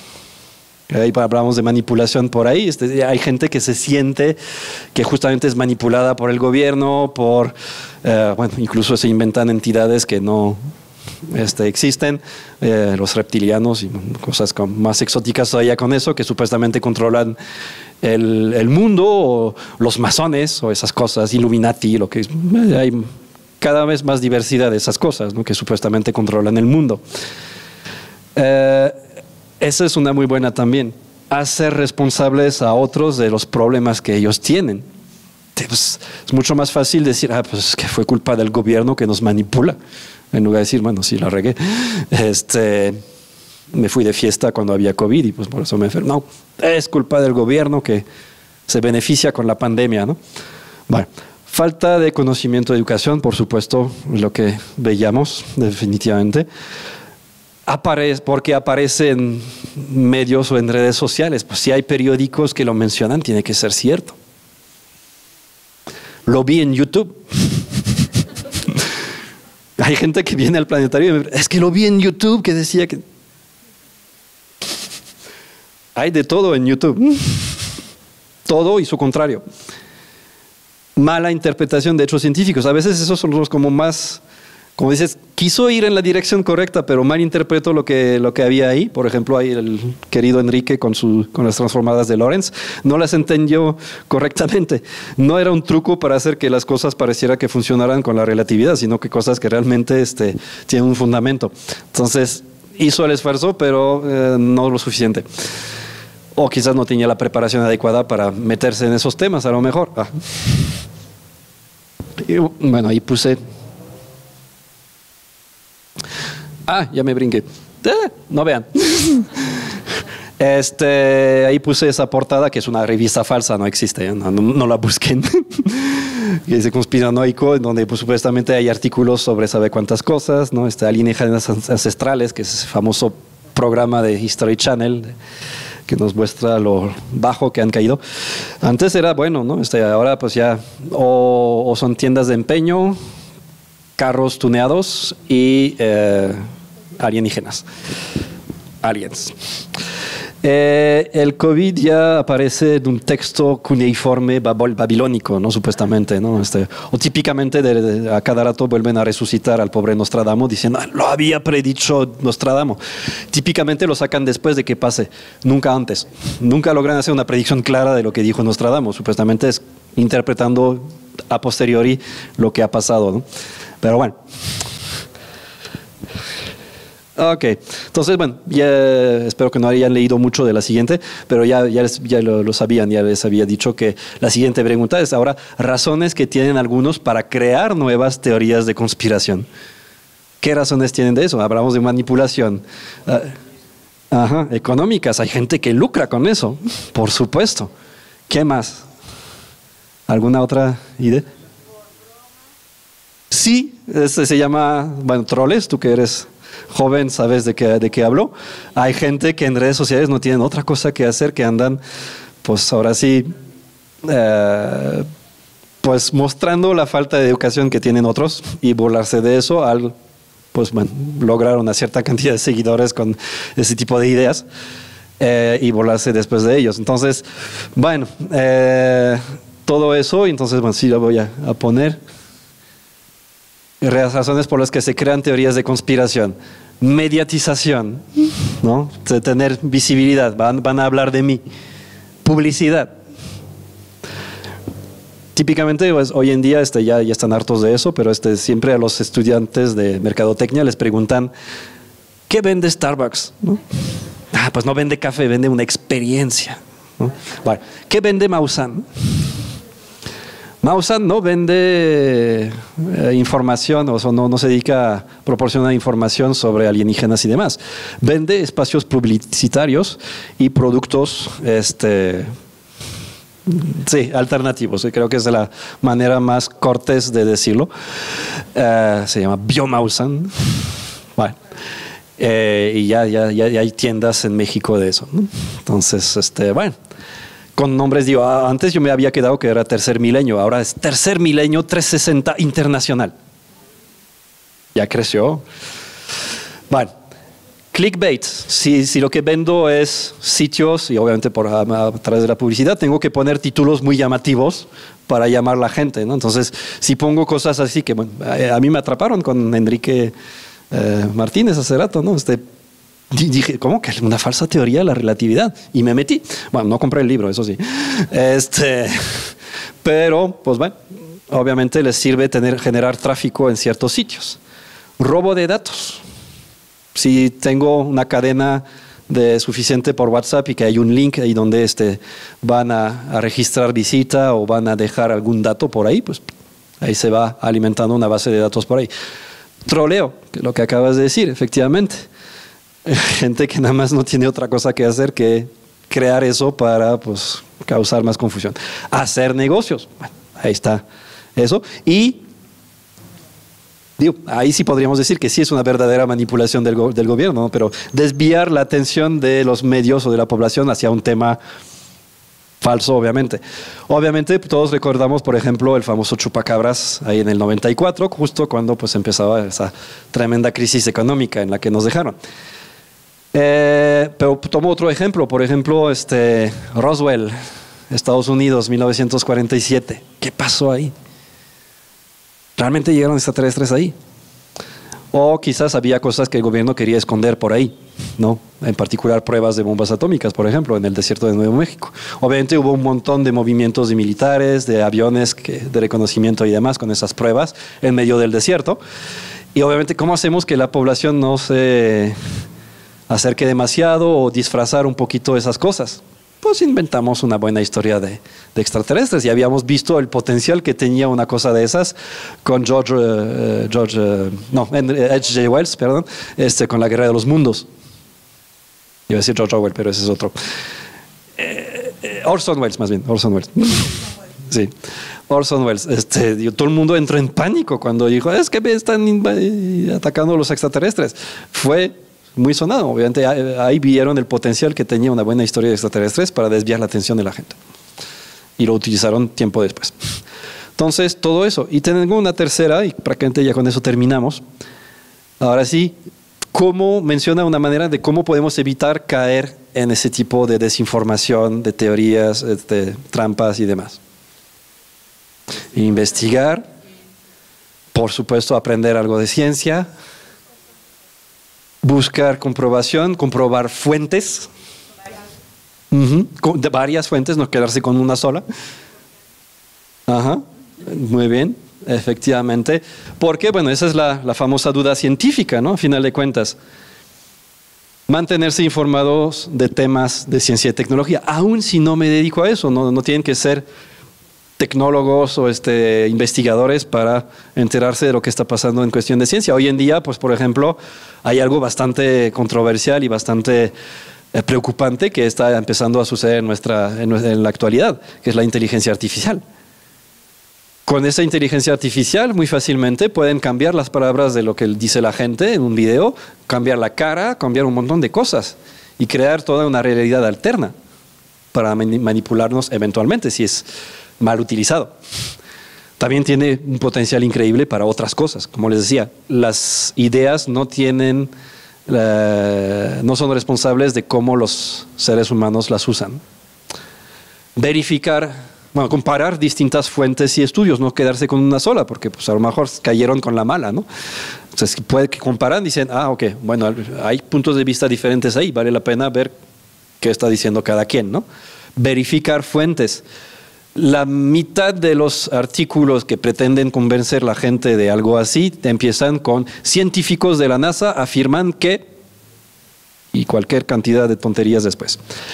Cuando la NASA obviamente sí tiene científicos, ¿no? Pero este, muchas veces, a veces hasta en campos completamente diferentes a la NASA y científicos de la NASA dicen que ser escépticos, porque esa es la base del, del, método científico, a final de cuentas. Por, ahora sí que uh, Isaac Asimov decía, yo estoy dispuesto a creer en lo, en lo que sea, pero obviamente entre mayor este, o más uh, increíble sea la afirmación, más fuertes van a tener que ser las evidencias que las respalden.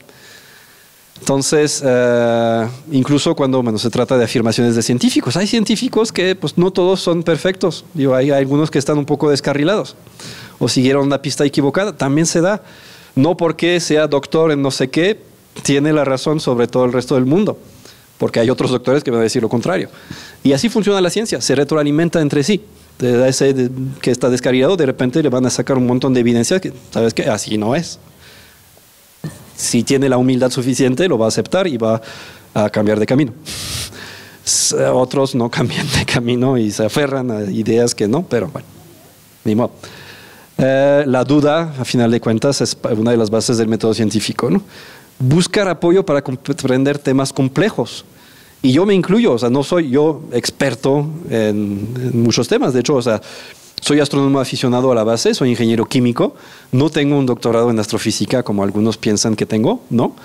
Sí me he metido muchísimo a investigar por mi cuenta y llevo como veintitantos años haciéndolo. Eh, y al menos tengo, podríamos decir, quizás el conocimiento suficiente para divulgar muchas, muchas cosas pero pues, obviamente de repente me rebasa y voy a buscar, afortunadamente también tengo cierta cantidad de contactos en el mundo académico y de la investigación. Y oye, ayúdame a entender eso porque como que no me queda claro cómo está eso, este, y, obviamente ahí me ayudan este, para eso, por ejemplo, para tomar un ejemplo, eh, una película que hice sobre exoplanetas para el planetario, que también se está mostrando en otros planetarios de la República. Pues es un tema muy avanzado y afortunadamente tenía la, suerte de conocer a Oscar Barragán, que es de la Universidad de Guanajuato, pero que, tenemos un amigo en común aquí en Aguascalientes, y él es, está ahorita haciendo estancia postdoctoral en Oxford este, sobre exoplanetas y ha descubierto varios, ha sido este principal autor de varios artículos de descubrimientos de exoplanetas. échame la mano con eso, este, ahí no entiendo bien ese tema. Y con eso. Entonces, obviamente, definitivamente que considero que necesitamos más gente que haga ese enlace, porque es a veces a lo mejor difícil hablar con un investigador y les va a hablar de su tema y no entiendo ni papa de lo que me dices, pero tener un intermedio que está un poquito de ambos lados. La verdad es que los astrónomos aficionados en esa parte astronómica lo hacen bastante bien, que tienen muy buen conocimiento porque les encanta y investigan mucho de eso, pero y entonces van a poder este, también aterrizarlo mucho más al nivel del público para entenderlo de manera más sencilla cosa que a veces los investigadores les cuesta un poquito más. Eh, entonces, buscar, buscar apoyo, analizar los pasos del estudio. Obviamente muchos de repente tienen la hipótesis y como que no sabes muy bien cómo llegaron a las conclusiones. Y la experimentación o el razonamiento, ¿dónde quedó? No, pues básicamente ahí. ¿no? Eh, que digo, hace rato hablábamos del argumento desde la ignorancia, este, ¿cuánta gente no ha visto cosas extrañas en el cielo? ¿no? Y es, ok, un ovni es un objeto volador no identificado. La palabra lo dice, no identificado. Y justo la, la, frase siguiente es, debe ser una nave alienígena de otro planeta. ¿no? A ver, yo recuerdo que hace dos segundos dijiste no identificado puede ser cualquier otra cosa, pero tendemos a brincar a, como no tengo otra explicación, pues esa es la correcta, ¿no? aguas con eso también porque es muy, muy común. Yo, yo recuerdo una vez que se puede saber exactamente con mucha precisión cuándo va a pasar la, ah, la Estación Espacial Internacional en el cielo. Brilla bastante, puede llegar a veces al brillo de Venus, se ve bastante vistoso en el cielo típicamente en las primeras dos horas después del atardecer, porque es cuando todavía tiene luz del sol, la, la refleja, pero nosotros ya estamos empezando a oscurecer. Una vez, pues, ya, va a pasar. Le dije a mi esposa, ¿quieres algo de la tienda? Este, ah, sí, tráeme tal cosa. Y salgo a la tienda y obviamente me la pasó la nariz arriba, como suelo pasármela. Y ¡pum! Ni tarde ni perezosa, justo a la hora exacta donde se había planeado, empieza a pasar la Estación Espacial Internacional. Entonces me quedo viéndola ahí en medio de la calle. Y obviamente hay gente que me empieza a voltear a ver, ¿qué, está, qué está viendo? y ven, ah, mira, este se está moviendo, está muy brillante, y ah, es un ovni, es un, es un extraterrestre. Obviamente me acerqué con ellos y dije, no, no, es la Estación Espacial Internacional. Yo justamente salí ahorita porque sabía que iba a pasar. Y, ah, ok, qué padre, no. Ya, pero obviamente la primera reacción de la mayor parte de la población es, no sé qué es, son extraterrestres. ¿ok? Entonces brincamos un poquito la, la, la conclusión. ¿no?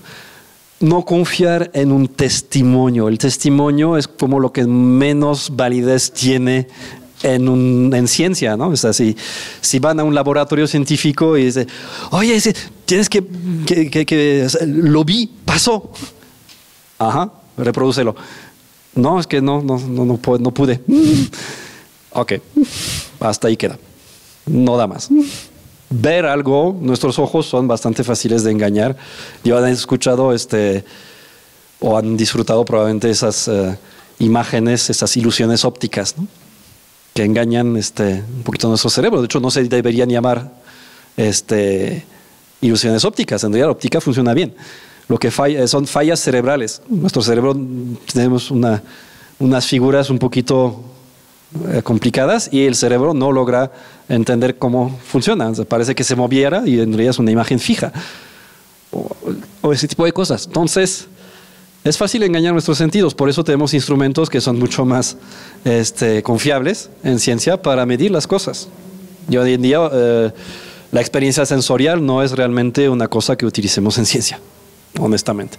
Entonces, un testimonio de, ah, es que lo vi, puede haber pasado muchas cosas, que no sabía qué era, que lo alucinó, que había tomado un poco antes, eh, lo que sea, ¿no? A final de cuentas. En cuestiones médicas en particular, tomar en cuenta el efecto placebo.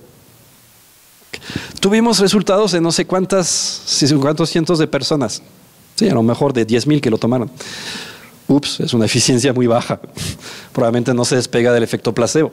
Entonces, pues en ese caso, mejor tómense un tic-tac. Este, y eso es más que nada para detectar la, las noticias o el lenguaje que se utiliza ahí. Detectar el uso y el abuso, porque abusan bastante de eso, de las falacias retóricas. Básicamente, donde tra tratan de desplazar la carga de la prueba, donde tratan de, este, bueno, todo un montón de artimañas para tratar de convencer, pero no son más que falacias retóricas. Y pues ya, seguramente hay otras, no sé si se les ocurre alguna más, pero bueno, eso es lo que quería tocar más o menos en la, en la charla. Eh, espero que les haya gustado y pues bueno, con mucho gusto ahorita pues seguimos discutiendo y, y platicando del tema para los que quieran participar. ¿No? ¿Nadie? Sí, sí pueden levantar la mano y ahorita les... Gracias.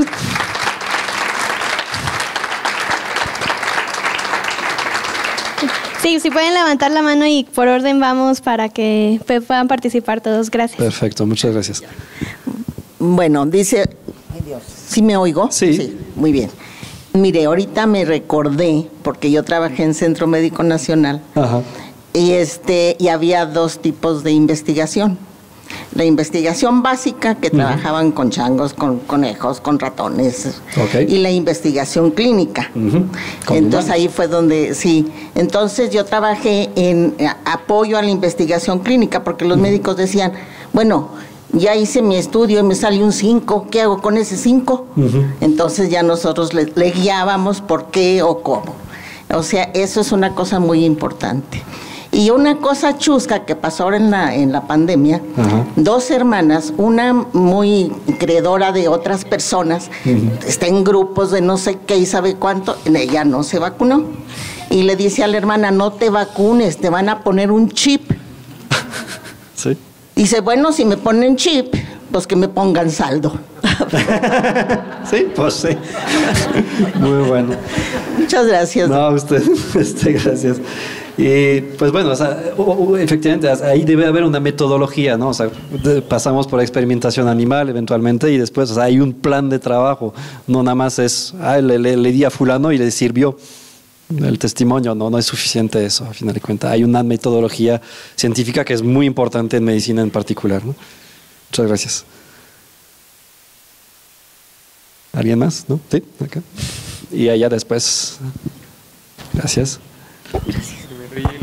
Eh, me quedé pensando ahorita que hablabas del efecto placebo, de cómo, cómo se utiliza para descalificar muchas veces que a algunas personas les, les resulte útil, ¿no? Ajá. Y me preguntaba si hay más estudios sobre cómo funciona el efecto placebo. Supongo que sí. Este, obviamente eso ya releva más como de la parte psicológica en general Ajá. que, que bueno, obviamente es salud mental, entonces sí tiene que ver con la salud definitivamente. Am, digo, lo que a final de cuentas queremos hacer cuando hacemos un estudio clínico para comparar con el efecto placebo es tener suficientes puntos en la gráfica, suficientes datos para hacer estadísticas que sean con un cierto nivel de confianza. Entonces eso ya es dictado a partir de ahí de métodos estadísticos. Si tengo suficientes resultados, pues voy a poder decir, ok, tantos se recuperaron ahí. Eh, digo, es muy difícil de entender porque, pues justamente entra la parte, digamos, la, la parte de la psique sobre, sobre el cuerpo, que es muy difícil de entender. Eh, no soy experto en esa parte, no sabría contestarle a ciencia cierta, pero por ejemplo, re- recuerdo un experimento que se hizo, que se me hizo muy cruel, pero pues lo hicieron y pues ya tenemos los resultados. De una rata que la pusieron en un recipiente con agua, pero no tenía la posibilidad de salir. Y entonces, pues poco a poco se termina de, de agotar la, rata y termina ahogándose porque ya no tiene como seguir nadando y, muere de agotamiento y de, asfixia. Y a una segunda, un segundo lote de ratas, no sé con cuántas lo hayan hecho honestamente, antes de que empecé, que, que, que muriera por, por, por eso, la rescatan. La salvan y la rata pues sobrevive. Tiempecito después la vuelven a meter en la misma situación. Esas ratas que ya habían vi- vivido esa primera experiencia donde pues conservaron la vida y pues obviamente tienen probablemente algo equivalente para las ratas de lo que es para nosotros la esperanza. Duraron casi cinco veces más tiempo luchando por su vida. Es un experimento que me parece extremadamente cruel. Este, pero si nos enseña algo es que el poder de la mente es tremendo, ¿no? Todos hemos este, escuchado de casos de personas que de repente no es que la desarrollaran, sino que la sacaron ahí de la manga con la adrenalina, una fuerza colosal para levantar unas cosas y salvar a alguna persona, ¿no? Hay muchos relatos de esos. Eh, digo, sería interesante hacer un estudio más, más dedicado, pero es algo que eh, digo, el ser humano tiene probablemente más capacidades de lo que obviamente pensamos en general o lo que vemos cotidianamente. ¿Hasta qué punto? Pues sería interesante verlo, pero obviamente es una cosa complicada con la que experimentar. Eh, pero eh, obviamente sí hay un, un efecto tremendo sobre eso.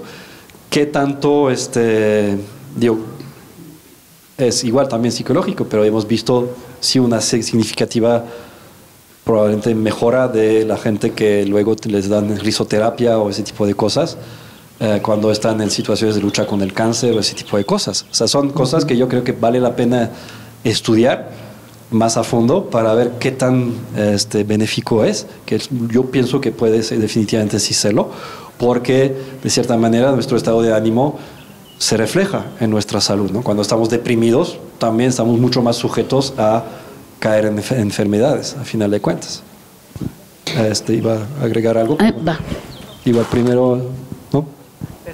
¿no? No sé si está relacionado con lo que acabamos de tocar. Mm, felicidades, doctor. No, no soy doctor. Digo, bueno, maestro. Sí, sí, sí es doctor, sabe mucho. Bueno, Eh, es ciertamente, eh, confirmo lo que usted dice ahorita. Eh, muchas veces el paciente eh, se siente vulnerable en su salud, acude con el doctor y ese doctor, hay algunos, no todos, que tienen poca ética Ujú. y son crueles. Ay, lo más seguro es que tienes cáncer de mama, quimioterapia. Y le empiezan a hacer eh, el diagnóstico y, y- y este pobre paciente se va asustado, ya no- te quedan seis meses de vida Sí. y a veces no es cierto. Entonces, como dice usted, hay que ver otra fuente de información o varios médicos. Sí. Sí, A veces incluso hacen eso luego los propios imagenólogos. sí. Ven, ah, hay algo ahí extraño. ¿eh? Si Yo, Yo- yo pienso que conozco- debe ser un tumor, un cáncer. Yo conozco casos. Ellos no son los indicados para eso, pero... Conozco el caso de una señora aquí en Aguascalientes que le extirparon sus senos y Ajá. no era cáncer, no era cáncer. Y, y el esposo también cayó con un traumatólogo y también dijo, no, es que te tengo que operar. Y era diabético y lamentablemente murió. Entonces, eh, cuidado Sí. con esos diagnósticos, eh, verificar dos, tres, cuatro veces. Exacto, sí, Porque muchas veces, como dice usted, te trabajan tu mente y, y te asustan y te, eh, te endrogas, vendes lo, lo poco que tienes porque pues ya te vas a morir. Sí, sí, sí. Cuidado. O a veces pasa al contrario. Este, En el caso de mi, de mi esposa, le bueno, detectaron una hiperplasia en el útero, en el endometrio. Sí. Entonces le hicieron un legrado, que mandaron a biopsia y todo para patología para ver qué había. Curiosamente no salió nada.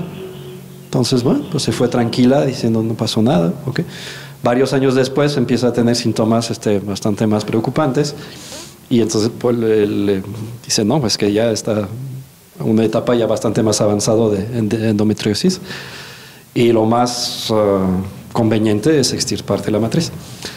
Entonces, este, bueno, afortunadamente alcanzamos a tener una hija antes de eso, eh, la cual obviamente ya se imaginará es muy querida, pero este, digo, oh, ah, agradecemos de que no haya pasado a mayores y que ya con esa extirpación no, no, no llegó a hacer metástasis o a otra cosa, eh, pero en ese caso, al contrario, no vieron algo que ya estaba ahí, ¿no? Pero bueno, entonces... Gracias. Yo quisiera felici- felicitarlo, doctor, por la valentía de tratar estos temas, porque es importante. Yo trabajo con jóvenes también eh, con ciencias experimentales, con biología, y, y me es muy difícil también este, el que ellos sean escépticos, pero lo que más me preocupa es cómo se abstraen de la realidad. O sea, yo quisiera que, por ejemplo, ellos salieran una noche a ver las estrellas y entonces ya poder Lo vincular los temas con, con lo que estamos viendo en teoría. Entonces mi pregunta es, ¿qué percepción tiene de esa relación, de esta divulgación Sí, sí. de la ciencia tan importante con los temas en diferentes niveles escolares? Ok. Que es muy necesaria a final de cuentas, o sea, y te digo, o sea, es una, una observación que ya había hecho Carl Sagan hace tiempo, o sea, los niños de primaria son increíblemente curiosos y deseosos de aprender de muchas cosas naturales que están a su alrededor, porque están empezando a, a conocer su mundo. Curiosamente llegamos a secundaria y ese entusiasmo desapareció. ¿Qué pasa ahí? Entonces algo estamos, está pasando en el sistema educativo, que- que- que- educativo en la manera en la que llevamos al conocimiento a los, a los niños y niñas, eh, que no está funcionando, que no les está llamando la atención. Y hoy en día, con tanta exposición a otras cosas ahí en redes sociales, en internet, todo lo que tienen a la mano, este, y pasan bastantes horas sobre eso, es efectivamente un poco preocupante. Entonces, a- aún así, digo, este, yo veo también luces de esperanzas. Digo, yo doy un curso de astronomía este, cada semestre más o menos en el museo, de, más o menos el mismo que solía dar este, como curso de formación humanista aquí mismo en la, en la Autónoma. Eh, y la, la- bueno, obviamente nada más era un público universitario. Ahora tengo, este, pues ahora sí público, suelo decir como de 7 a 77, pero diría incluso más que eso, porque este, he tenido una señora de 80 y he tenido un niño de 5 para hablar de esos temas. Y era un niño, o sea, dije, yo al principio cuando me habló la, la mamá para inscribirlo, tenía mis reservas, que tiene 5 años, o sea, apenas va a entrar a la primaria. Pero, o sea, básicamente conocí al niño. Dije, tráigamelo, vamos a hablar un poquito y ver que le, le doy mi opinión, ¿no? O sea, si, si, si lo acepto en el curso o no. No me gusta poner barreras de ah, 12, a- ponemos una recomendación de 12 en adelante, pero no me gusta, desde- tiene 11 y 9 meses. No, pues está bien, o sea, pásele. La verdad, va a cumplir los 12 durante el curso, está bien. Este, pero hay, he tenido niños de, de de ese centro de educación para niños de altas capacidades ahí, de 8, 9, 10 años, y ese niño de repente me llega con 5 años. La- el tiempo de conocer al niño. se sabía todo el sistema solar, quizás incluso mejor que yo, no sé. este, me quedé atónito y la verdad dije, ¿te, te gusta el tema, verdad? Este, no, pues sí, este, veo muchos, este, muchas cosas en la tele, videos, leo libros. Obviamente hace cinco años ya de por sí que lea ese tipo de cosas es impresionante. Y dije, wow, ok, no, está bien, bienvenido, adelante, inscríbete al curso. No solamente lo tomo una vez, de hecho, al año siguiente repitió, porque como era en la pandemia, lo tomo, lo tomo en línea, y ya al año siguiente sí pudimos ya volver a tomarlo presencial en el planetario, y obviamente lo que le gustaba también es que pudiera tomar ese curso eh, ya con el planetario, el observatorio, de manera un poquito más pues, tangible también, y lo volvió a tomar y, le encantó otra vez.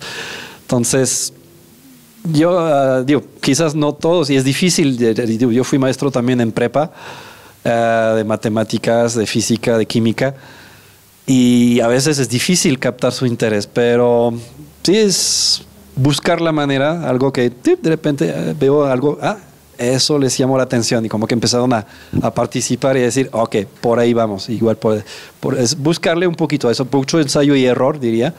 Yo pienso, digo, en general, por lo co- como he visto la gente reaccionar a eso, digo, este, muy seguido me invitan, por ejemplo, a los cuartos, ahí este, la hacienda de los cuartos, donde hacen muchos, muchos campamentos, donde habla- hablan sobre el medio ambiente, pero también me invitan para ver la- las estrellas y hablar del universo. Y en general los, los niños, este, de- fuera de ese contexto escolar, yo sé que obviamente pues es difícil sacarlos del salón todo el tiempo, no se puede, pero este, probablemente como que fuera del contexto del aula, yo creo que el aula en sí, de repente como que, ay, tenemos que ir ahí, ¿no? De por sí ya es como que desanimador, ¿no? Pero ya cuando hay esas oportunidades de, de aprender, pero de una manera completamente diferente, están mucho más ah, interesados, participativos y creo que es el vector por el que se puede hacer. Entonces, si, si eh, puedo ayudar en alguna parte de que podemos organizar una observación, ya sea en el planetario, este, el campamento o lo que sea, para hacer eso, cuenten conmigo, adelante. Que al, cabo ya vieron que no me encanta. ¿no? Sí, buenas tardes. ¿Me- ¿Sí me escucho? Sí. Eh, muchas felicidades. Son temas que normalmente no escuchamos. Y rapidísimamente, para no entretenerlos, eh, así como dijo al principio, lo, lo que es teórico y lo que es hi- hipotético. Ajá. Yo estoy del lado de las ciencias sociales, no del, del otro lado. Y uno escucha muchas cosas y a, a- a muchas, eh, a mucha gente que habla, por ejemplo, de las enfermedades somáticas. Y cuando, por ejemplo, tú vas con un médico, lo que quieres es que alguien te escuche. Sí. Bueno, en cierto- Entonces, hasta o sea, te punto, escuche obviamente. por tu, por tu enfermedad, pero Claro. también por tu enfermedad del alma, Ajá. por lo que te aflige. Entonces, a veces simplemente con ser escuchado cambian las circunstancias. Es hipotético, pero puede ayudar. Si no, no estarían los, los psicólogos Ajá. que no dan medicamento, no se diga los psiquiatras, ¿verdad? Y digo, no lo digo porque mi esposa sea psicóloga. No, no, no, Sino no. este, porque obviamente eso significaría más trabajo para ella, ¿no? Pero la, la verdad es que le va muy bien y está, tiene la agenda, la agenda saturada. Claro. Pero, este, desgraciadamente valoramos muy poco la salud mental Claro, comparado con el resto de la salud física. claro. Eh, y creo que incluso tendría una, un alto porcentaje de prevención de otras enfermedades el hecho de que estuviéramos con mejor salud mental. Así es. Inclusive se dice eh, la palabra cura. Hablar te cura de muchas cosas. Sí. Entonces, bueno, yo he escuchado, por ejemplo, cuando ya tengo muchos problemas me caigo. No de una persona, de varias personas. Mis piernas no me sostienen. No hay manera de comprobarlo, pero bueno, existe. Eh, resulta que tengo colon irritativo y luego tengo una serie de eventos que me han mortificado. Bueno, hablo de lo hipotético que Sí, pudiera sí. ser, pero solamente por compartir eh, reflexiones y de situaciones. Yo estoy del lado de las ciencias sociales. Eso por una parte. Y por otra, quiero compartirles. eh, hace un par de días vi una película que dice Dejar el mundo atrás, que está en Netflix. Lo que me llama la atención es que los productores eje- ejecutivos, que son quienes pagan, son Michelle y Barack Obama. Y hablan de una situación donde, este, no les voy a decir de qué trata, pero como de una hipótesis sobre lo que pudiera ser como una guerra a través de em, pues el medio ambiente sin que sean sin, sin que sean bombas. Nada más se los quería compartir. Lo que me extrañó es que ellos, siendo ellos o siendo Barack Obama, hubiera financiado esa película. Se llama Dejar el mundo atrás. Nada no, más. pues Gracias. checarla. Muchas gracias. Gracias. Me suena, no sé, como que la escuché, pero no la he visto. Igual para checarla. Adelante, adelante. Ah, eh, ¿Qué tal, Julián? Soy fan, muy fan. Ah, muchas Este, voy a dividir mi pregunta en dos partes con un tema principal, el cientificismo. Ok. Ah, Sí, muy bueno. es la otra moneda, ¿verdad? Sí, que creo que sí, no sí. hemos escuchado. Sí, de hecho Eh, sí. Quería mencionar algo de eso, pero pues dije tantas cosas que se me fue, pero ahorita Llegué igual- un poquito bueno tarde que y no sé si lo mencionaste, pero qué bueno que me dices que no. Sí, sí, Eh. Lo englobo en dos partes. Me gustó lo que dijo la maestra de, de Verde de- al principio. Mucho de, de la medicina actualmente está comprometida y es muy Sí. sabido que la ciencia siempre ha estado al servicio del capital y ningún Ajá. científico te lo puede negar al 100%, ¿verdad? Todos tenemos un, un pariente, un primo que le han hecho lo mismo. Eh, yo personalmente también he tenido ese tipo de encuentros con especialistas. No, hasta este estudia, hasta esto y este es lo otro. Al final son personas sin profesión, creo yo. Ese es uno. La número dos es lo de, me llamó la atención, hiciste referencia a estos artículos o cadenas de WhatsApp que siempre ponen de la NASA y así, Sí. que es como su, su punto clave. Sí. Creo que lo peligroso, englobándolo con el cientificismo, es que muchas de las personas que nos gusta la ciencia, nos gusta la divulgación, también caemos en eso mismo, Julián. Sí. ¿Por qué? Porque pensamos que porque dice NASA es la verdad absoluta. Cuando sabemos que la NASA... idealizamos un poquito lo que es la Lo NASA. idealizamos hasta lo hacemos como un dogma y es lo más Ajá. peligroso también. Eh, mi ejemplo sobre este tema es que la NASA puede poner a Bill Clinton en su discurso de, de ¿por qué vamos a la Luna? Pues porque está ahí, porque la raza humana tiene que ir para adelante, ¿verdad? Ah. Pero pues si te pones a investigar más de teoría económica o Sí, sí, capitalismo tal cual, sabemos que, y, y lo- te escucho decirlo a ti también, la, el único punto o la única razón por la que estamos yendo a la, un- a la Luna, o uno de los mayores puntos, pues es el- la minería espacial, por obviamente. supuesto. Si un, viene un científico, que mi respeto total, y dice que es por la humanidad y todo esto, pues hay que tener un poco de... Por supuesto. Agarrarlo con pincitas, creo yo. Hay y también, eh, última, eh, yo también antes me burlaba mucho de las terraplanistas, todo esto, porque es- cae en lo risorio, completamente de acuerdo, pero cada vez lo hago menos. Y los Sí, porque invito... les damos visibilidad, Sí, obviamente. lo hago menos porque no sé qué les parezca esta idea, estoy abierto. Eh, creo que porque me he dado cuenta que pues el- las teorías conspiranoicas, y no porque de- yo sea conspiranoico, nada que ver, pero el mero hecho de creer en algo es inherente al ser humano. Sí. Y siempre que veo a un alguien así, para no reírme, yo pienso, pues todos, la verdad, un baño de humildad, todos creemos en dogmas todo el tiempo. O sea, todos tenemos religiones, todos creemos en un Señor allá arriba en el cielo, y pues nadie lo puede comprobar, ¿verdad? Y es todo. No sé si me No, muchas un poco. Este, digo, hasta Einstein creía cosas. Exacto. Y eso lo llevó a cometer lo que él llamó su- el peor error de su carrera. Él estaba convencido, y obviamente eso no, no basado en evidencia científica, sino en, pues ahora sí, su propia concepción del universo, que el universo era estático, que no tenía una evolución, un principio y un final. Y ahora sí que eh, ahí es la, parte donde no debió mezclarlo con la ciencia y lo hizo. Eh, ahora sí que en sus ecuaciones apareció puf, por ahí lo que se llama la constante cosmológica, que permitía dentro de esas ecuaciones describir un universo estático. Tiempo después, Hubble descubre que las galaxias se van alejando de nosotros y este, pues a partir de ahí se demuestra que el universo está en expansión. Y no le tuvo, no le quedó más de otra. Dio poca gente puede darse el lujo de decir que cayó a Einstein. Eh, pero también era un ser humano y tenía sus creencias. Y ahora sí que eh, en ciencia creo que no tiene absolutamente ningún valor. Y al contrario, es un peligro de meter cosas que no deberían estar ahí. Eh, entonces sí, es, este, hay que tener cuidado con, con eso y la verdad, aún los científicos creen en cosas, por supuesto, y es difícil a veces disociar el rigor científico de quiero que salga así, el resultado del experimento, ¿no? A lo mejor también porque, y lo que mencionabas también, defendí esa idea y con eso me financiaron. Que es otro de los peligros de la ciencia.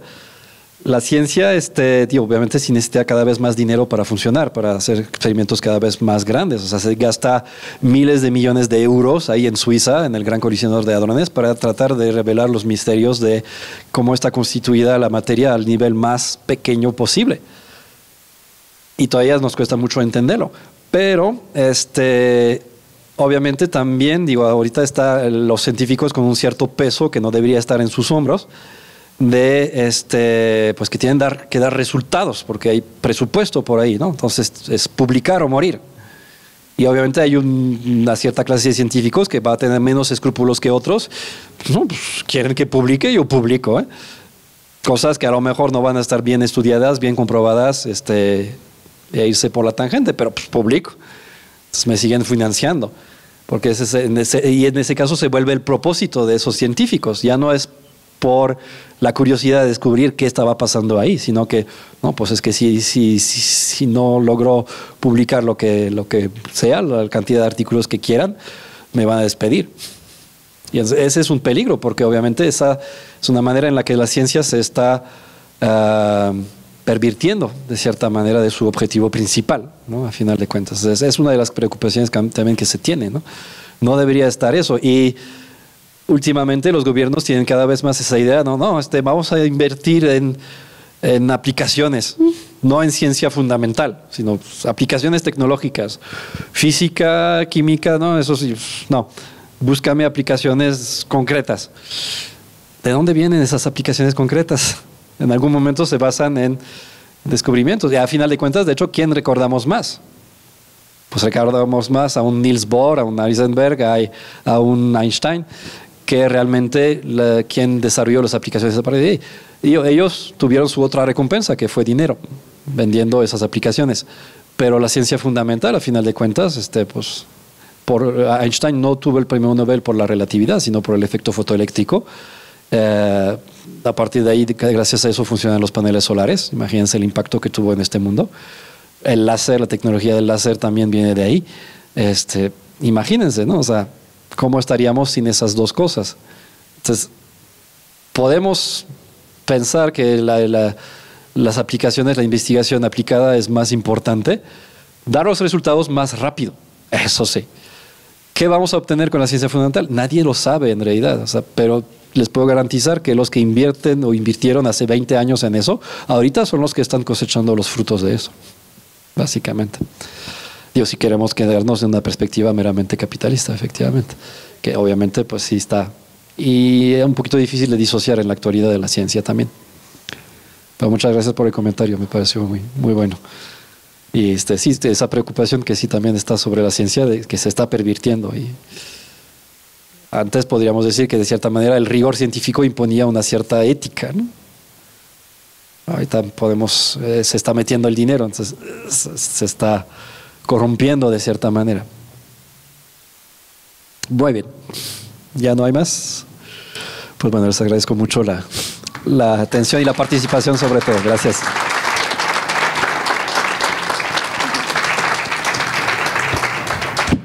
Muchas gracias al maestro Julien por su participación en este espacio de reflexión. Eh, cedo el uso de la palabra al doctor Ismael Manuel Rodríguez Herrera, director general de difusión y vinculación. Gracias, Clara. Bueno, pues únicamente para reiterar el agradecimiento a, a Julien, un comprometido divulgador. Eh, comentar, hoy estamos además en temporada de mucha demanda por el eclipse que, viene. Le agradezco porque en la mañana tuvo una capacitación en el museo y se dio el tiempo de estar con nosotros.